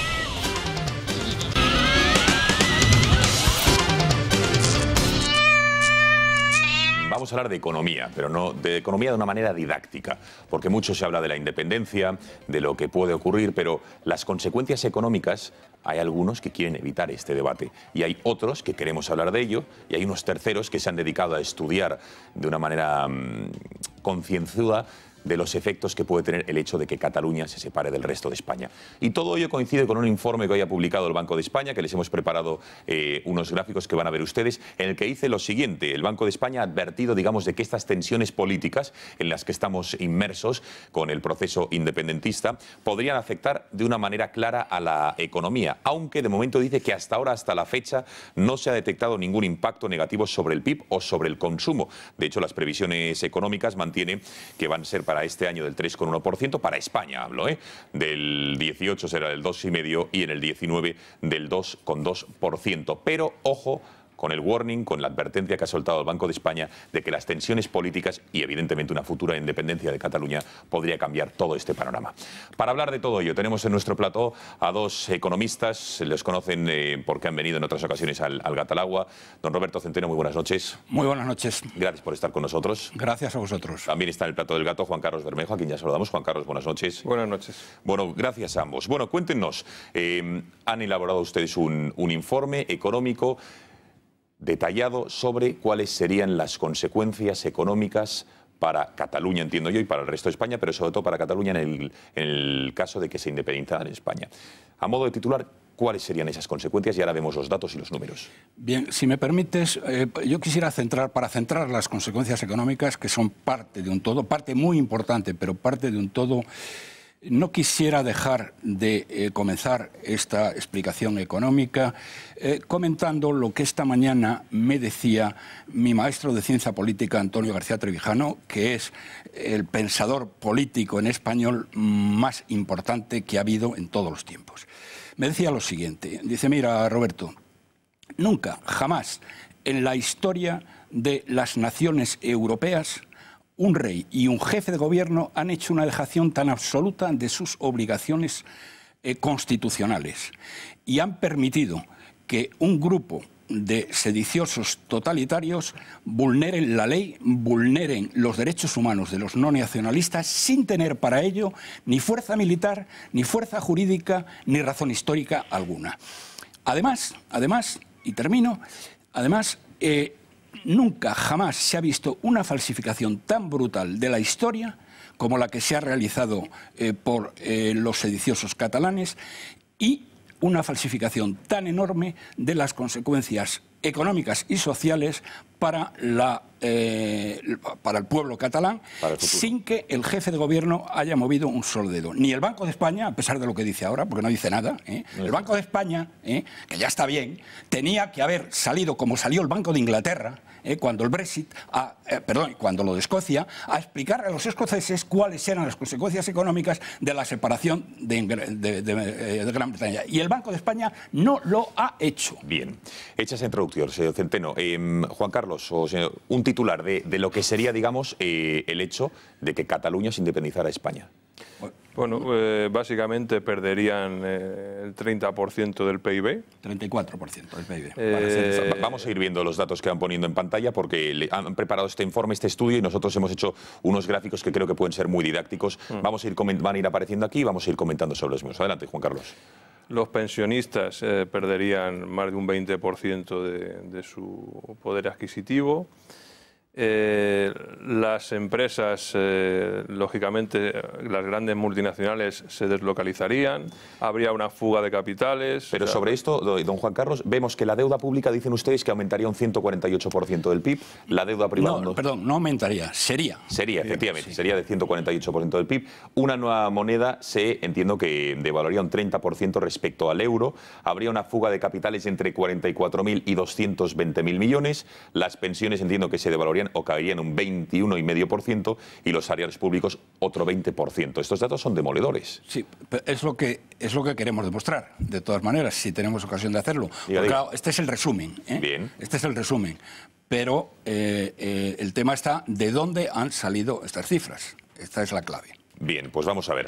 Vamos a empezar. Eh, si Cataluña saliese de la Unión Europea y del euro, por ejemplo, aquí estamos viendo lo que dirían unos y lo que dirían de otros. Según Junqueras, dice que Cataluña tendría garantizada la pertenencia a la Unión Europea y, por ejemplo, el expresidente del Parlamento Europeo, el señor Borrell, dijo en un debate que dicen ustedes que ganó abrumadoramente Borrell citó los tratados diciendo que si una región de Estado miembro se convierte en un Estado independiente, los tratados dejan de aplicarse automáticamente y se convierte en un tercer Estado. Para volver a entrar necesitaría unanimidad. Es decir, esto no, lo, no se lo inventa nadie, esto lo dicen los tratados. Esto es así porque, vamos a ver, los tratados no dicen eso. Los tratados lo que dejan es a los estados que ellos se organicen los territorios. No se mete en si tiene. eh, ellos, los territorios son exclu- exclusiva competencia de los estados. ¿Qué ocurre si un- una región se separa de un estado? Pues sencillamente que, que deja de estar en la, en la Unión, no aparece en ningún sitio, no está en los tratados, no está en, en- en ningún documento, no está, sencillamente no está, no es que le echen, es que no está. Y al no estar, pues se dejan de aplicar todos los, los tratados en esa región. Esa, esa sería así a grandes rasgos. Por eso la Comisión Europea se pronunció en esos términos que muy bien leyó eh, Josep Borrell. Va, Dicho el Román Paladino. Diga. Eh, si Cataluña se separa, ¿eh? se va de la Unión Europea y se va del euro. Sí o sí.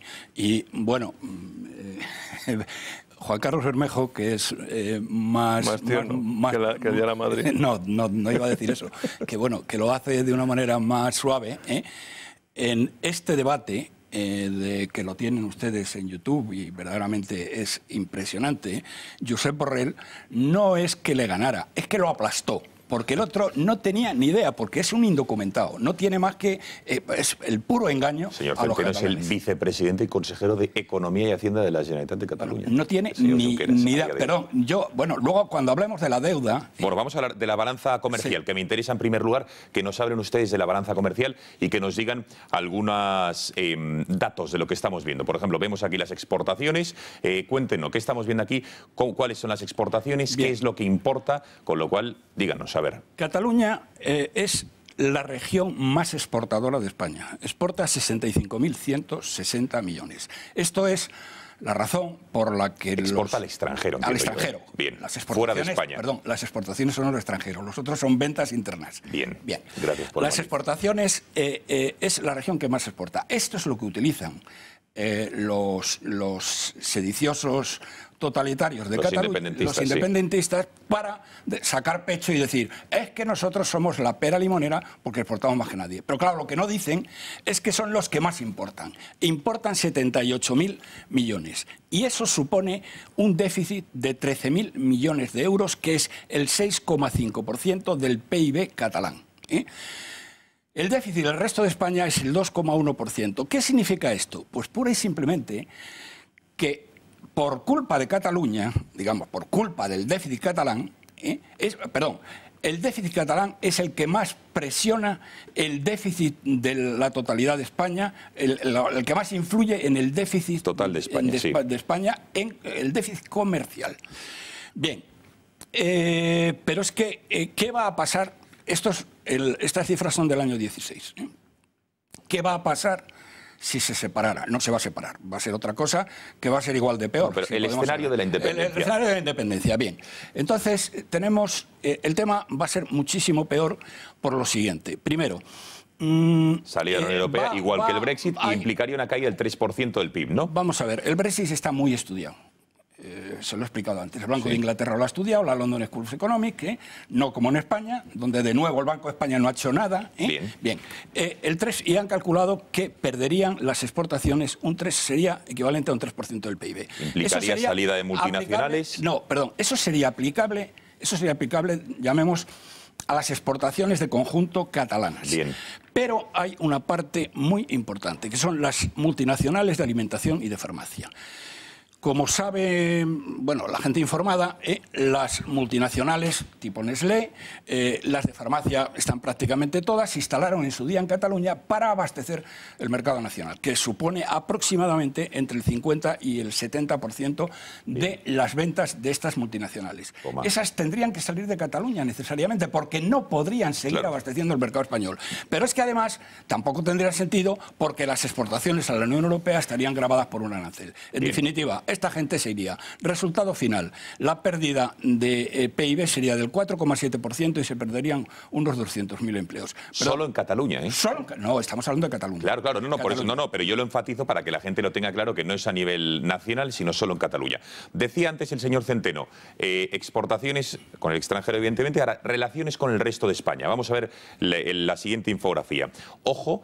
Y explíquennos cuáles son las ventas y compras de Cataluña con el resto de España. No sé si... señor Bueno, Bermejo, bueno, aquí lo que podemos ver es que eh, el superávit comercial con el resto de España es brutal. ¿eh? Son 18.000 millones de euros. Cataluña es la región, no hay otra región en el mundo ¿eh? Con un privilegio como este. O sea, no hay ninguna región en el mundo que exporte tanto a sus compañeros de, de nación. venda. Que venda, que venda. Entonces, bueno, es que yo le llamo exportaciones entre No son comillas. exportaciones, Bueno, Cataluña Bueno, España. Estamos en un Nos escenario de entendido, eso es. independencia. Entonces, Vende 61.000 al resto de España y compra 43.000, con lo cual tiene un superávit de 18.000 Eso. millones. Entonces, ¿Qué ocurriría aquí? Ocurriría que por el efecto rechazo de, de- de España respecto a sus productos, que básicamente se, ma- se manufacturan en Cataluña, y no hay nada que se fabrique en Cataluña que no se pueda fabricar en España, pues eso, tendríamos que irnos a los modelos por ejemplo, cuando la escisión en- entre Chequia y Eslovaquia, que fue amistosa, produjo una caída del 70% de las ventas de Eslovaquia a Chequia. Y en el caso de los Balcanes, que no fue amistosa, el 90%. Por lo tanto, imagínese usted, estamos hablando de perder unos 48.800 mi- eh, 800 millones de euros de venta, lo que es el 23% del PIB catalán. Toma. Deuda pública y deuda privada. Lo digo porque, vamos, eh, ojo, porque entiendo que son datos impactantes, pero alguien tenía que decirlo. Estos señores economistas están haciendo esto, este estudio, hoy nos lo están presentando en el Gata al Agua, y atención porque no queda ahí la cosa, ¿eh? Deuda pública y, y privada. Venga, señor Centeno, cuéntanos porque ahí tenemos Bien, el efectivamente... PIB, primero tengo que empezar diciendo que el PIB de Cataluña es el 18,9% del PIB de España. ¿Por qué digo esto? Porque en todos los procesos de secesión que se han verificado en Europa, eh, eh, eh, tanto los mercados como el derecho internacional obligan a que la parte de deuda pública sea equivalente al PIB, al PIB de la parte que se separa. Y eso ha ocurrido en Chequia, Eslovaquia, ha ocurrido en los Balcanes, ha ocurrido en Rusia.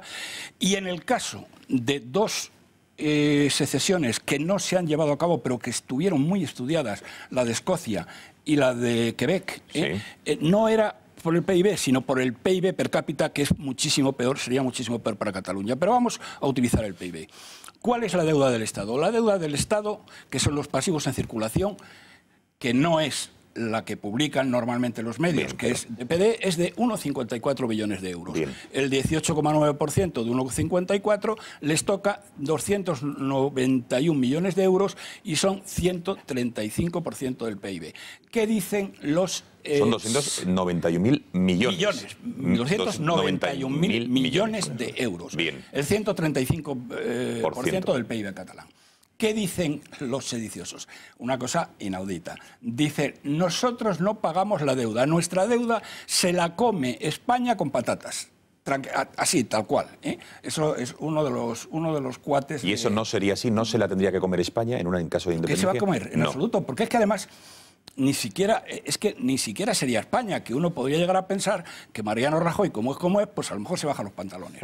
Pero es que se la debe al Banco Central Europeo, quien se la exigiría sería el Banco Central Europeo, los, los bancos inversores europeos y los inversores internacionales. Por lo tanto, es que esto lo tienen que pagar sí o sí. Pero no solamente es la deuda pública, luego está la deuda privada, que esto tiene otras consecuencias muy graves. Las empresas catalanas deben al exterior 321.000 millones de, euros, perdón, tienen eh, una deuda en euros de 321.000 millones, no necesariamente al exterior, y las familias 102.000 millones. La suma de los dos es el 197% del PIB. ¿m? Frente a lo que dicen los sediciosos y lo que está repartiendo por ahí un panfleto inmundo que está repartiendo el cercle de negocios, el cercle catalán de negocios, que dice que tendrían un 3%, un 4% del PIB de deuda, es que es una broma. Bueno, vamos a las, a las tan manidas y famosas balanzas fiscales. Eh, bueno, porque creo que aquí hay varios datos, hay varias fuentes, informaciones que aportan unos, que aportan otros. Cuéntenos, eh, no sé, ¿quién quiere hablarnos de lo que dice, por ejemplo, la Generalitat o Junqueras en su caso, lo que dice, entiendo yo que es el Instituto de Estudios Financieros, o, por ejemplo, el ex consejero de, de Economía catalán, el señor Mascolell, en el último gobierno del gobierno de Mas? Cuéntenos, a ver. Esto tú, Roberto, te lo has preparado tú. Bueno, Roberto. vamos a ver, esto, eh, eh, los, los independentistas dicen cosas delirantes. Esto, esto además está en, precisamente en la entrevista, vamos, en la entrevista, en el debate que tuvo, eh, que, eh, que tuvo con, eh, con Borrell. Bien. Que Borrell es que literalmente lo aplastó, no tenía cifras. Vamos a los datos, según- venga, a ver. según Junqueras, porque sí, porque le da la gana, ¿eh? Eh, el, la- el Cataluña ingresa en España 16.000 millones más de lo que recibe. Bien. No tiene nada que ver. O sea, nada que ver con la realidad. Es decir, no merece la pena ni comentar. Esta es la fuente de Junqueras, Pero, sin embargo, más fuentes. sin embargo, se ha hecho eh, en España, que no se ha hecho en ningún otro país, que eso se lo demuestra eh, en, el- en- en este debate, lo demuestra. eh, eh, vaya, Borrell, Borrell se me demuestra. Lo, lo demuestra Borrell que en ningún país en ningún país se hacen balanzas fiscales. Y además, si hay que hacer una balanza fiscal, vamos a poner al lado, ¿eh? vamos a poner al lado La balanza comercial. ¿eh? Porque claro, bien. Pero este, no sé, creo que es el Instituto de Estudios Fiscales la que lo ha hecho. Y eh, la cifra que daban era 10.000 millones. Pero ¿cuál era el error que cometían? El error que cometían es que solamente consideraban mm, mm, de gasto público en Cataluña los gastos del Estado, pero no consideraban los gastos de las comunidades autónomas y de las corporaciones locales.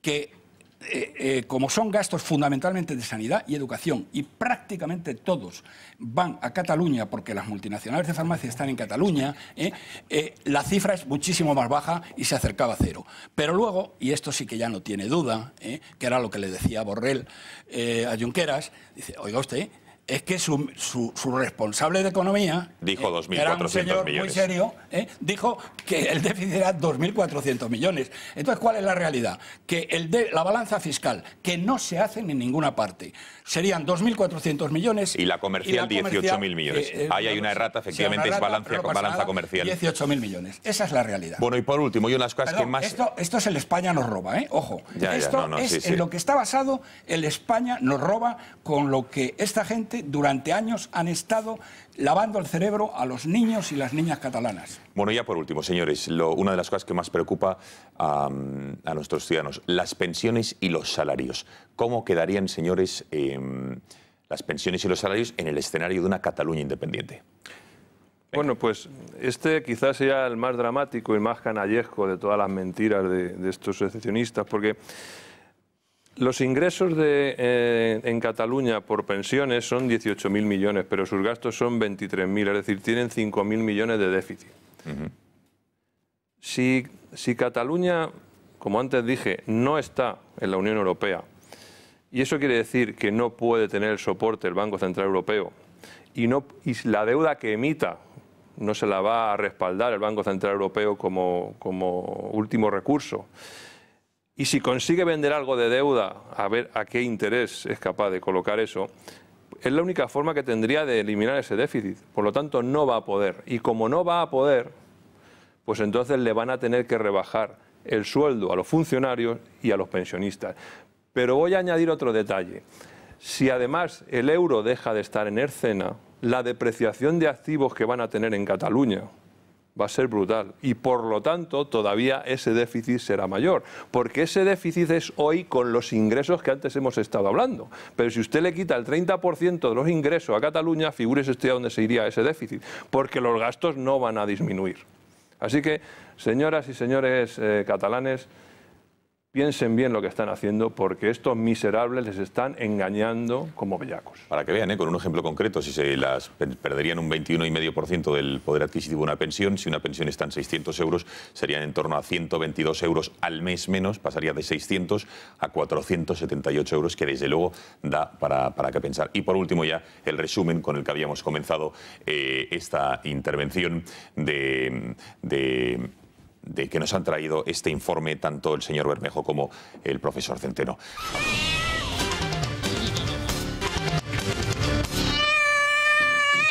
Gustaría una, mm, un análisis rápido, digamos, o un titular de este informe económico sobre las consecuencias económicas que tendría la independencia para, para Cataluña si se separase del, del resto de España. Eh, Espaza, ¿qué te ha parecido? Porque desde luego esta información hay mucha gente que no la quiere dar. Desde luego, desde Cataluña, por parte del independentismo, se esconde o directamente se manipula. Pero desde luego es como para pensárselo. ¿eh? Yo creo que lo grave es la manipulación. Vamos a ver, cualquier proyección económica, y los economistas lo saben mejor que nadie, es siempre el principio de incertidumbre de Heisenberg. Es decir, tú determinas al final lo que te va a salir. Ahora bien, ahora bien, dicho eso, lo mismo vale para esta proyección que para la que hacen los separatistas catalanes. Y aquí es donde está el problema. Es decir, esto es una proyección asentada en hechos reales. Y lo que se ha estado vendiendo a los catalanes durante años son proyecciones falsas asentadas sobre hechos inventados. Y realmente me parece muy serio y muy grave que nadie desde el Estado, desde la nación de todos, desde España, les haya contado lo contrario, la realidad. ¿no? Ahora, bueno, me parece que vale la pena que alguien cuente, ojo, que lo, que lo más probable que os pase será esto. ¿no? Eh, no hay peor ciego que el que no quiere ver. Y hace tiempo que ellos manejan datos. Y antes se ha comentado que Borrell habló con Chunqueras y todo eso. Les, se lo han explicado por activa, por pasiva y tal. Pero claro, ellos quieren ver su, su interés. ¿no? La cuestión económica es muy importante, pero yo creo que este proceso va por otro lado. Es decir, que aquí el desgarro iba a ser mucho mayor que solo en la parte económica. Evidentemente no entrarían en Europa, bajarían pensiones, sueldos, etcétera. Hombre, Pero Roch, sobre que, todo que caigan las iría- pensiones un 21%, yo pensionista catalán, o que se pierdan 200.000 Pero Gonzalo, esto empleos. sería el mal menor, porque si Cataluña se independiza, España se va al garete. O sea, nos vamos todos al garete, porque el Estado de Derecho es fallido, la democracia también y todo. O sea, no se puede permitir eso. No por, solo por la cuestión económica, que me parece importante, sino también por la razón de ser. Creo que por encima de la economía hay otras razones de más peso que luego podremos hablar y debatir. Que, me importa, que decir que es importante la economía, sí, pero yo los argumentos que utilizaría para convencer o solucionar esta situación no sería decirle, mire, que su pensión va a bajar. Es verdad, va a bajar, pero yo creo que están en una espiral de locura, o llámalo como quieras, de euforia, de enajenación y de lo que quieras, que no son conscientes de todos esos males. Tampoco quizá de los otros, pero la cuestión legal es la que tiene que imperar, no solo la cuestión económica. el, análisis, eh, las estimaciones, pues son estimaciones sujetas a un amplio margen de error. Las estimaciones que se nos han dado aquí de las consecuencias económicas de la separación, o sea, si el golpe triunfase, eh, demuestran que efectivamente eh, serían catastróficas, tanto en crecimiento como en eh, nivel de vida, como en paro, eh, un desastre sin paliativos. Eh, para Cataluña es la ruina. El resto de España quedaría muy dañado también, porque no cabe duda que hoy estamos en el mismo barco y si una parte del barco se desgaja y se hunde en el mar, pues lo que queda mm, tampoco sale indemne, ni mucho menos. Un simple dato. Desde que se ha agudizado el conflicto en las últimas semanas y parece que eh, la Generalitat separatista se empecina en dar el golpe de Estado, la bolsa empezaba a bajar regularmente. Entonces, eh, los ahorros de millones y millones de españoles han caído por la gracia de estos señores en estos días, en estas semanas, pues han caído un 10%, un 15%. Entonces, quiero decir, es una cosa absolutamente indignante que eh, por la irresponsabilidad y por el empecinamiento eh, enloquecido de esta gente, estemos todos empobreciéndonos por, por su culpa.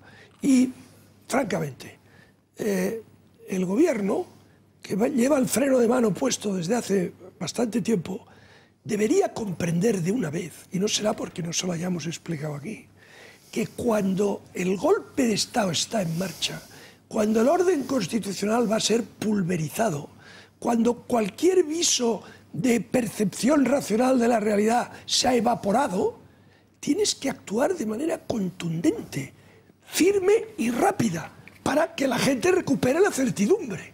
Y es igual que el coste en, digamos, tensión eh, durante unos días sea alto. Para esto estás tú, el Estado, eh, monopolio legítimo de la violencia, para contener eso.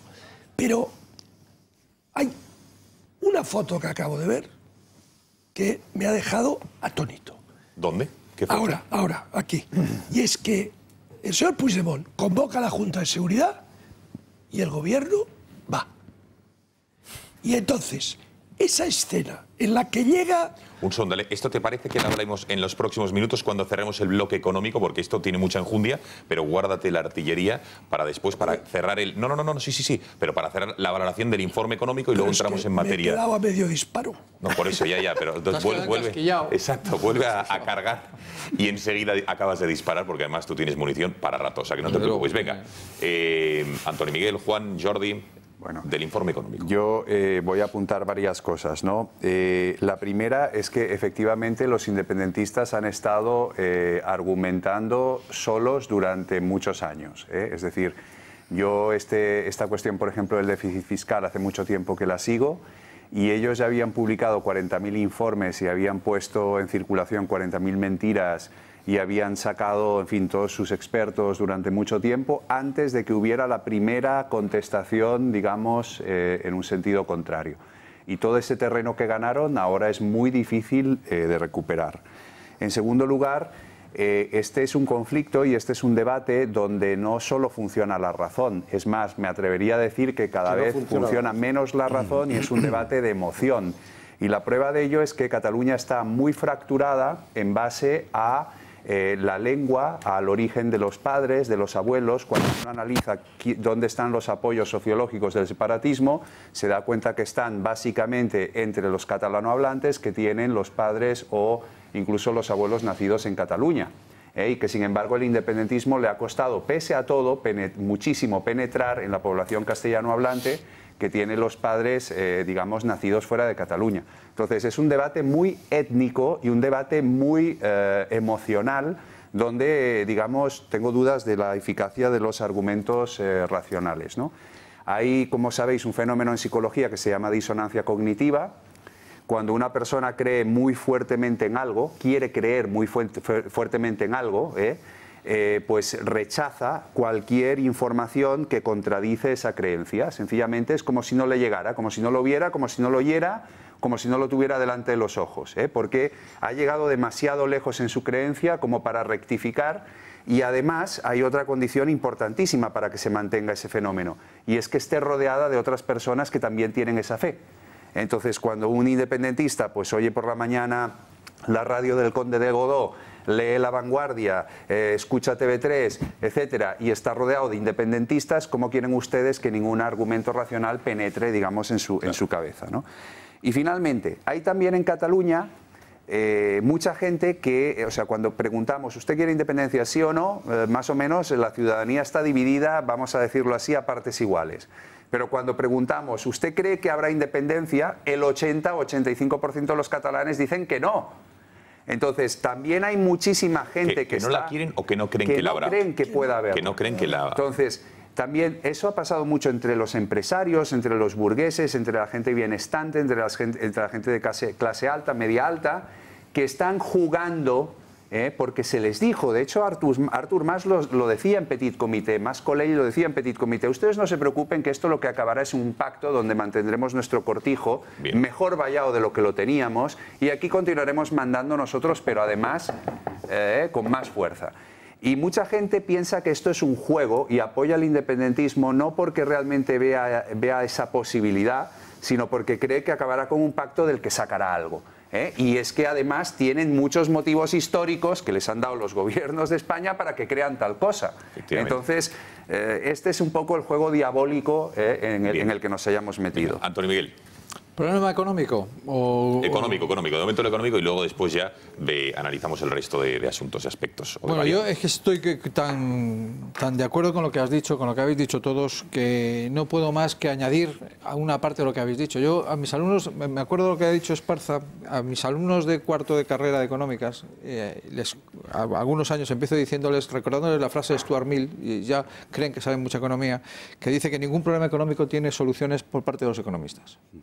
Eh, en realidad, Stuart Mill traducido dice, ningún problema económico tiene soluciones económicas. Entonces les digo, léanse los libros de historia y aprenderán más, más economía que muchas fórmulas que les voy a poner. Bueno, después de este ejercicio de pseudo humildad, eh, que siempre es sospechosa es decir, por parte de un economista, el, eh, calcular cuánto le costaría a Cataluña o a España es ridículo. Es como decir, ¿cuánto costaría? Te vas a matar mucho o poco si te tiras de un piso 22. Te romperás la, columna vertebral, te, te romperás la cabeza, no, te vas a matar. Entonces, es decir, no son 43.000 millones de euros, son 44.000 millones de euros. Lo import- ¿Qué ocurriría? ¿Qué? ¿Qué ya que citaba Esparza, ¿qué ocurriría si los vikingos invaden España? Por cierto, eh, por siguiendo la novela, la última novela que he leído y Los del felicito, mar, Los demonios del mar, que es una maravillosa novela que, que he leído y que me, y que me gusta mucho. muchas gracias. El- eh, son ejercicios inútiles. Lo que hay que tener muy claro es que esos ejercicios nos llevan al posibilismo. Dice, bueno, si son 43 o 44, ¿lo podemos asumir o no? No, vamos a ver. Es, la única nación que existe en España es España. La única nación que existe en España es España. Igualdad de derechos de todos los españoles. Vivan donde vivan, tengan el color de piel que tengan, profesen la religión Y que profesen y militen el hablen. partido político que militen, como la Quinta República en Francia. A nadie se le ocurriría en Languedoc, si a alguien en Languedoc se le ocurre proponer un referéndum antidemocrático para secesionar el Languedoc, el departamento de Francia, le quitan el título de economista, o de médico, o de, o licenciado en, Derecho. Por lo tanto, no es posible. Y volvemos a tener las tensiones económicas, eso sí. Hay un informe, un- un- una encuesta del Centro de Estudios de Opinión de, la Generalitat que dice que las personas de entre las personas de más de 4.000 euros de más renta en Cataluña, el 50% son independentistas. Y los de menos renta, menos de 1.200 euros, el 30% son independentistas. Es decir, yo que soy socialdemócrata, eh, por lo menos confeso, confeso, es decir, tengo que defender que iba a decir tengo- convencido. no, pero bien, bien. con- convencido también. Confeso, Ah, confeso. convencido también, pero confeso desde luego. Tengo que defender desde la igualdad de derechos y de, sobre todo de la igualdad entre los españoles. Para mí es un tema sustancial. Los socialdemócratas y los conservadores y los liberales tienen que defender antes la libertad que la peculiaridad. Desde luego, eh, este debate ya se tuvo en la Primera República. Y tengo expertos en historia en esta mesa suficientes como para saber más que yo de lo que pasó en la Primera República. Por lo tanto, no hablemos del posibilismo. ¿Qué ocurriría si Cataluña, qué ocurriría con la deuda, etcétera, etcétera? No, Cataluña es imposible. Si tú te lanzas de un piso 20, te rompes la cabeza y te matas. O te, matas, te rompas lo que te rompas. Y entonces, Lo que hay que decir claramente es, en Cataluña es solo, en España solo hay una nación, que es España, de igualdad de derechos, como lo es la Quinta República en Francia, y desde luego, sin lugar a dudas, lo que hay que tener es un gobierno fuerte que tome las riendas del asunto en dos direcciones. En una dirección, en el cumplimiento de la ley, de la norma y de la Constitución, que es el centro de la democracia, y la segunda es de convencer a los dos millones y pico de catalanes que son independentistas de decir que les han contado una milonga. Esa es la Que- segunda parte. que les- no, Primero bueno, tiene que tomar las riendas. Incluso debería haber sido una parte anterior, porque después, como me dice algún amigo catalán, me dice, bueno, si del discurso de que el cumplimiento de la Constitución y de la ley es elemental, es que los españoles estamos discutiendo si cumplir la norma o no, pero ¿cómo vamos a pagar impuestos si una parte de los... de- porque esto no es una discusión entre... Esto es un problema también semántico, no es una discusión entre España y Cataluña, esto es falso también, es una pelea entre una parte del Estado y otra parte del Estado.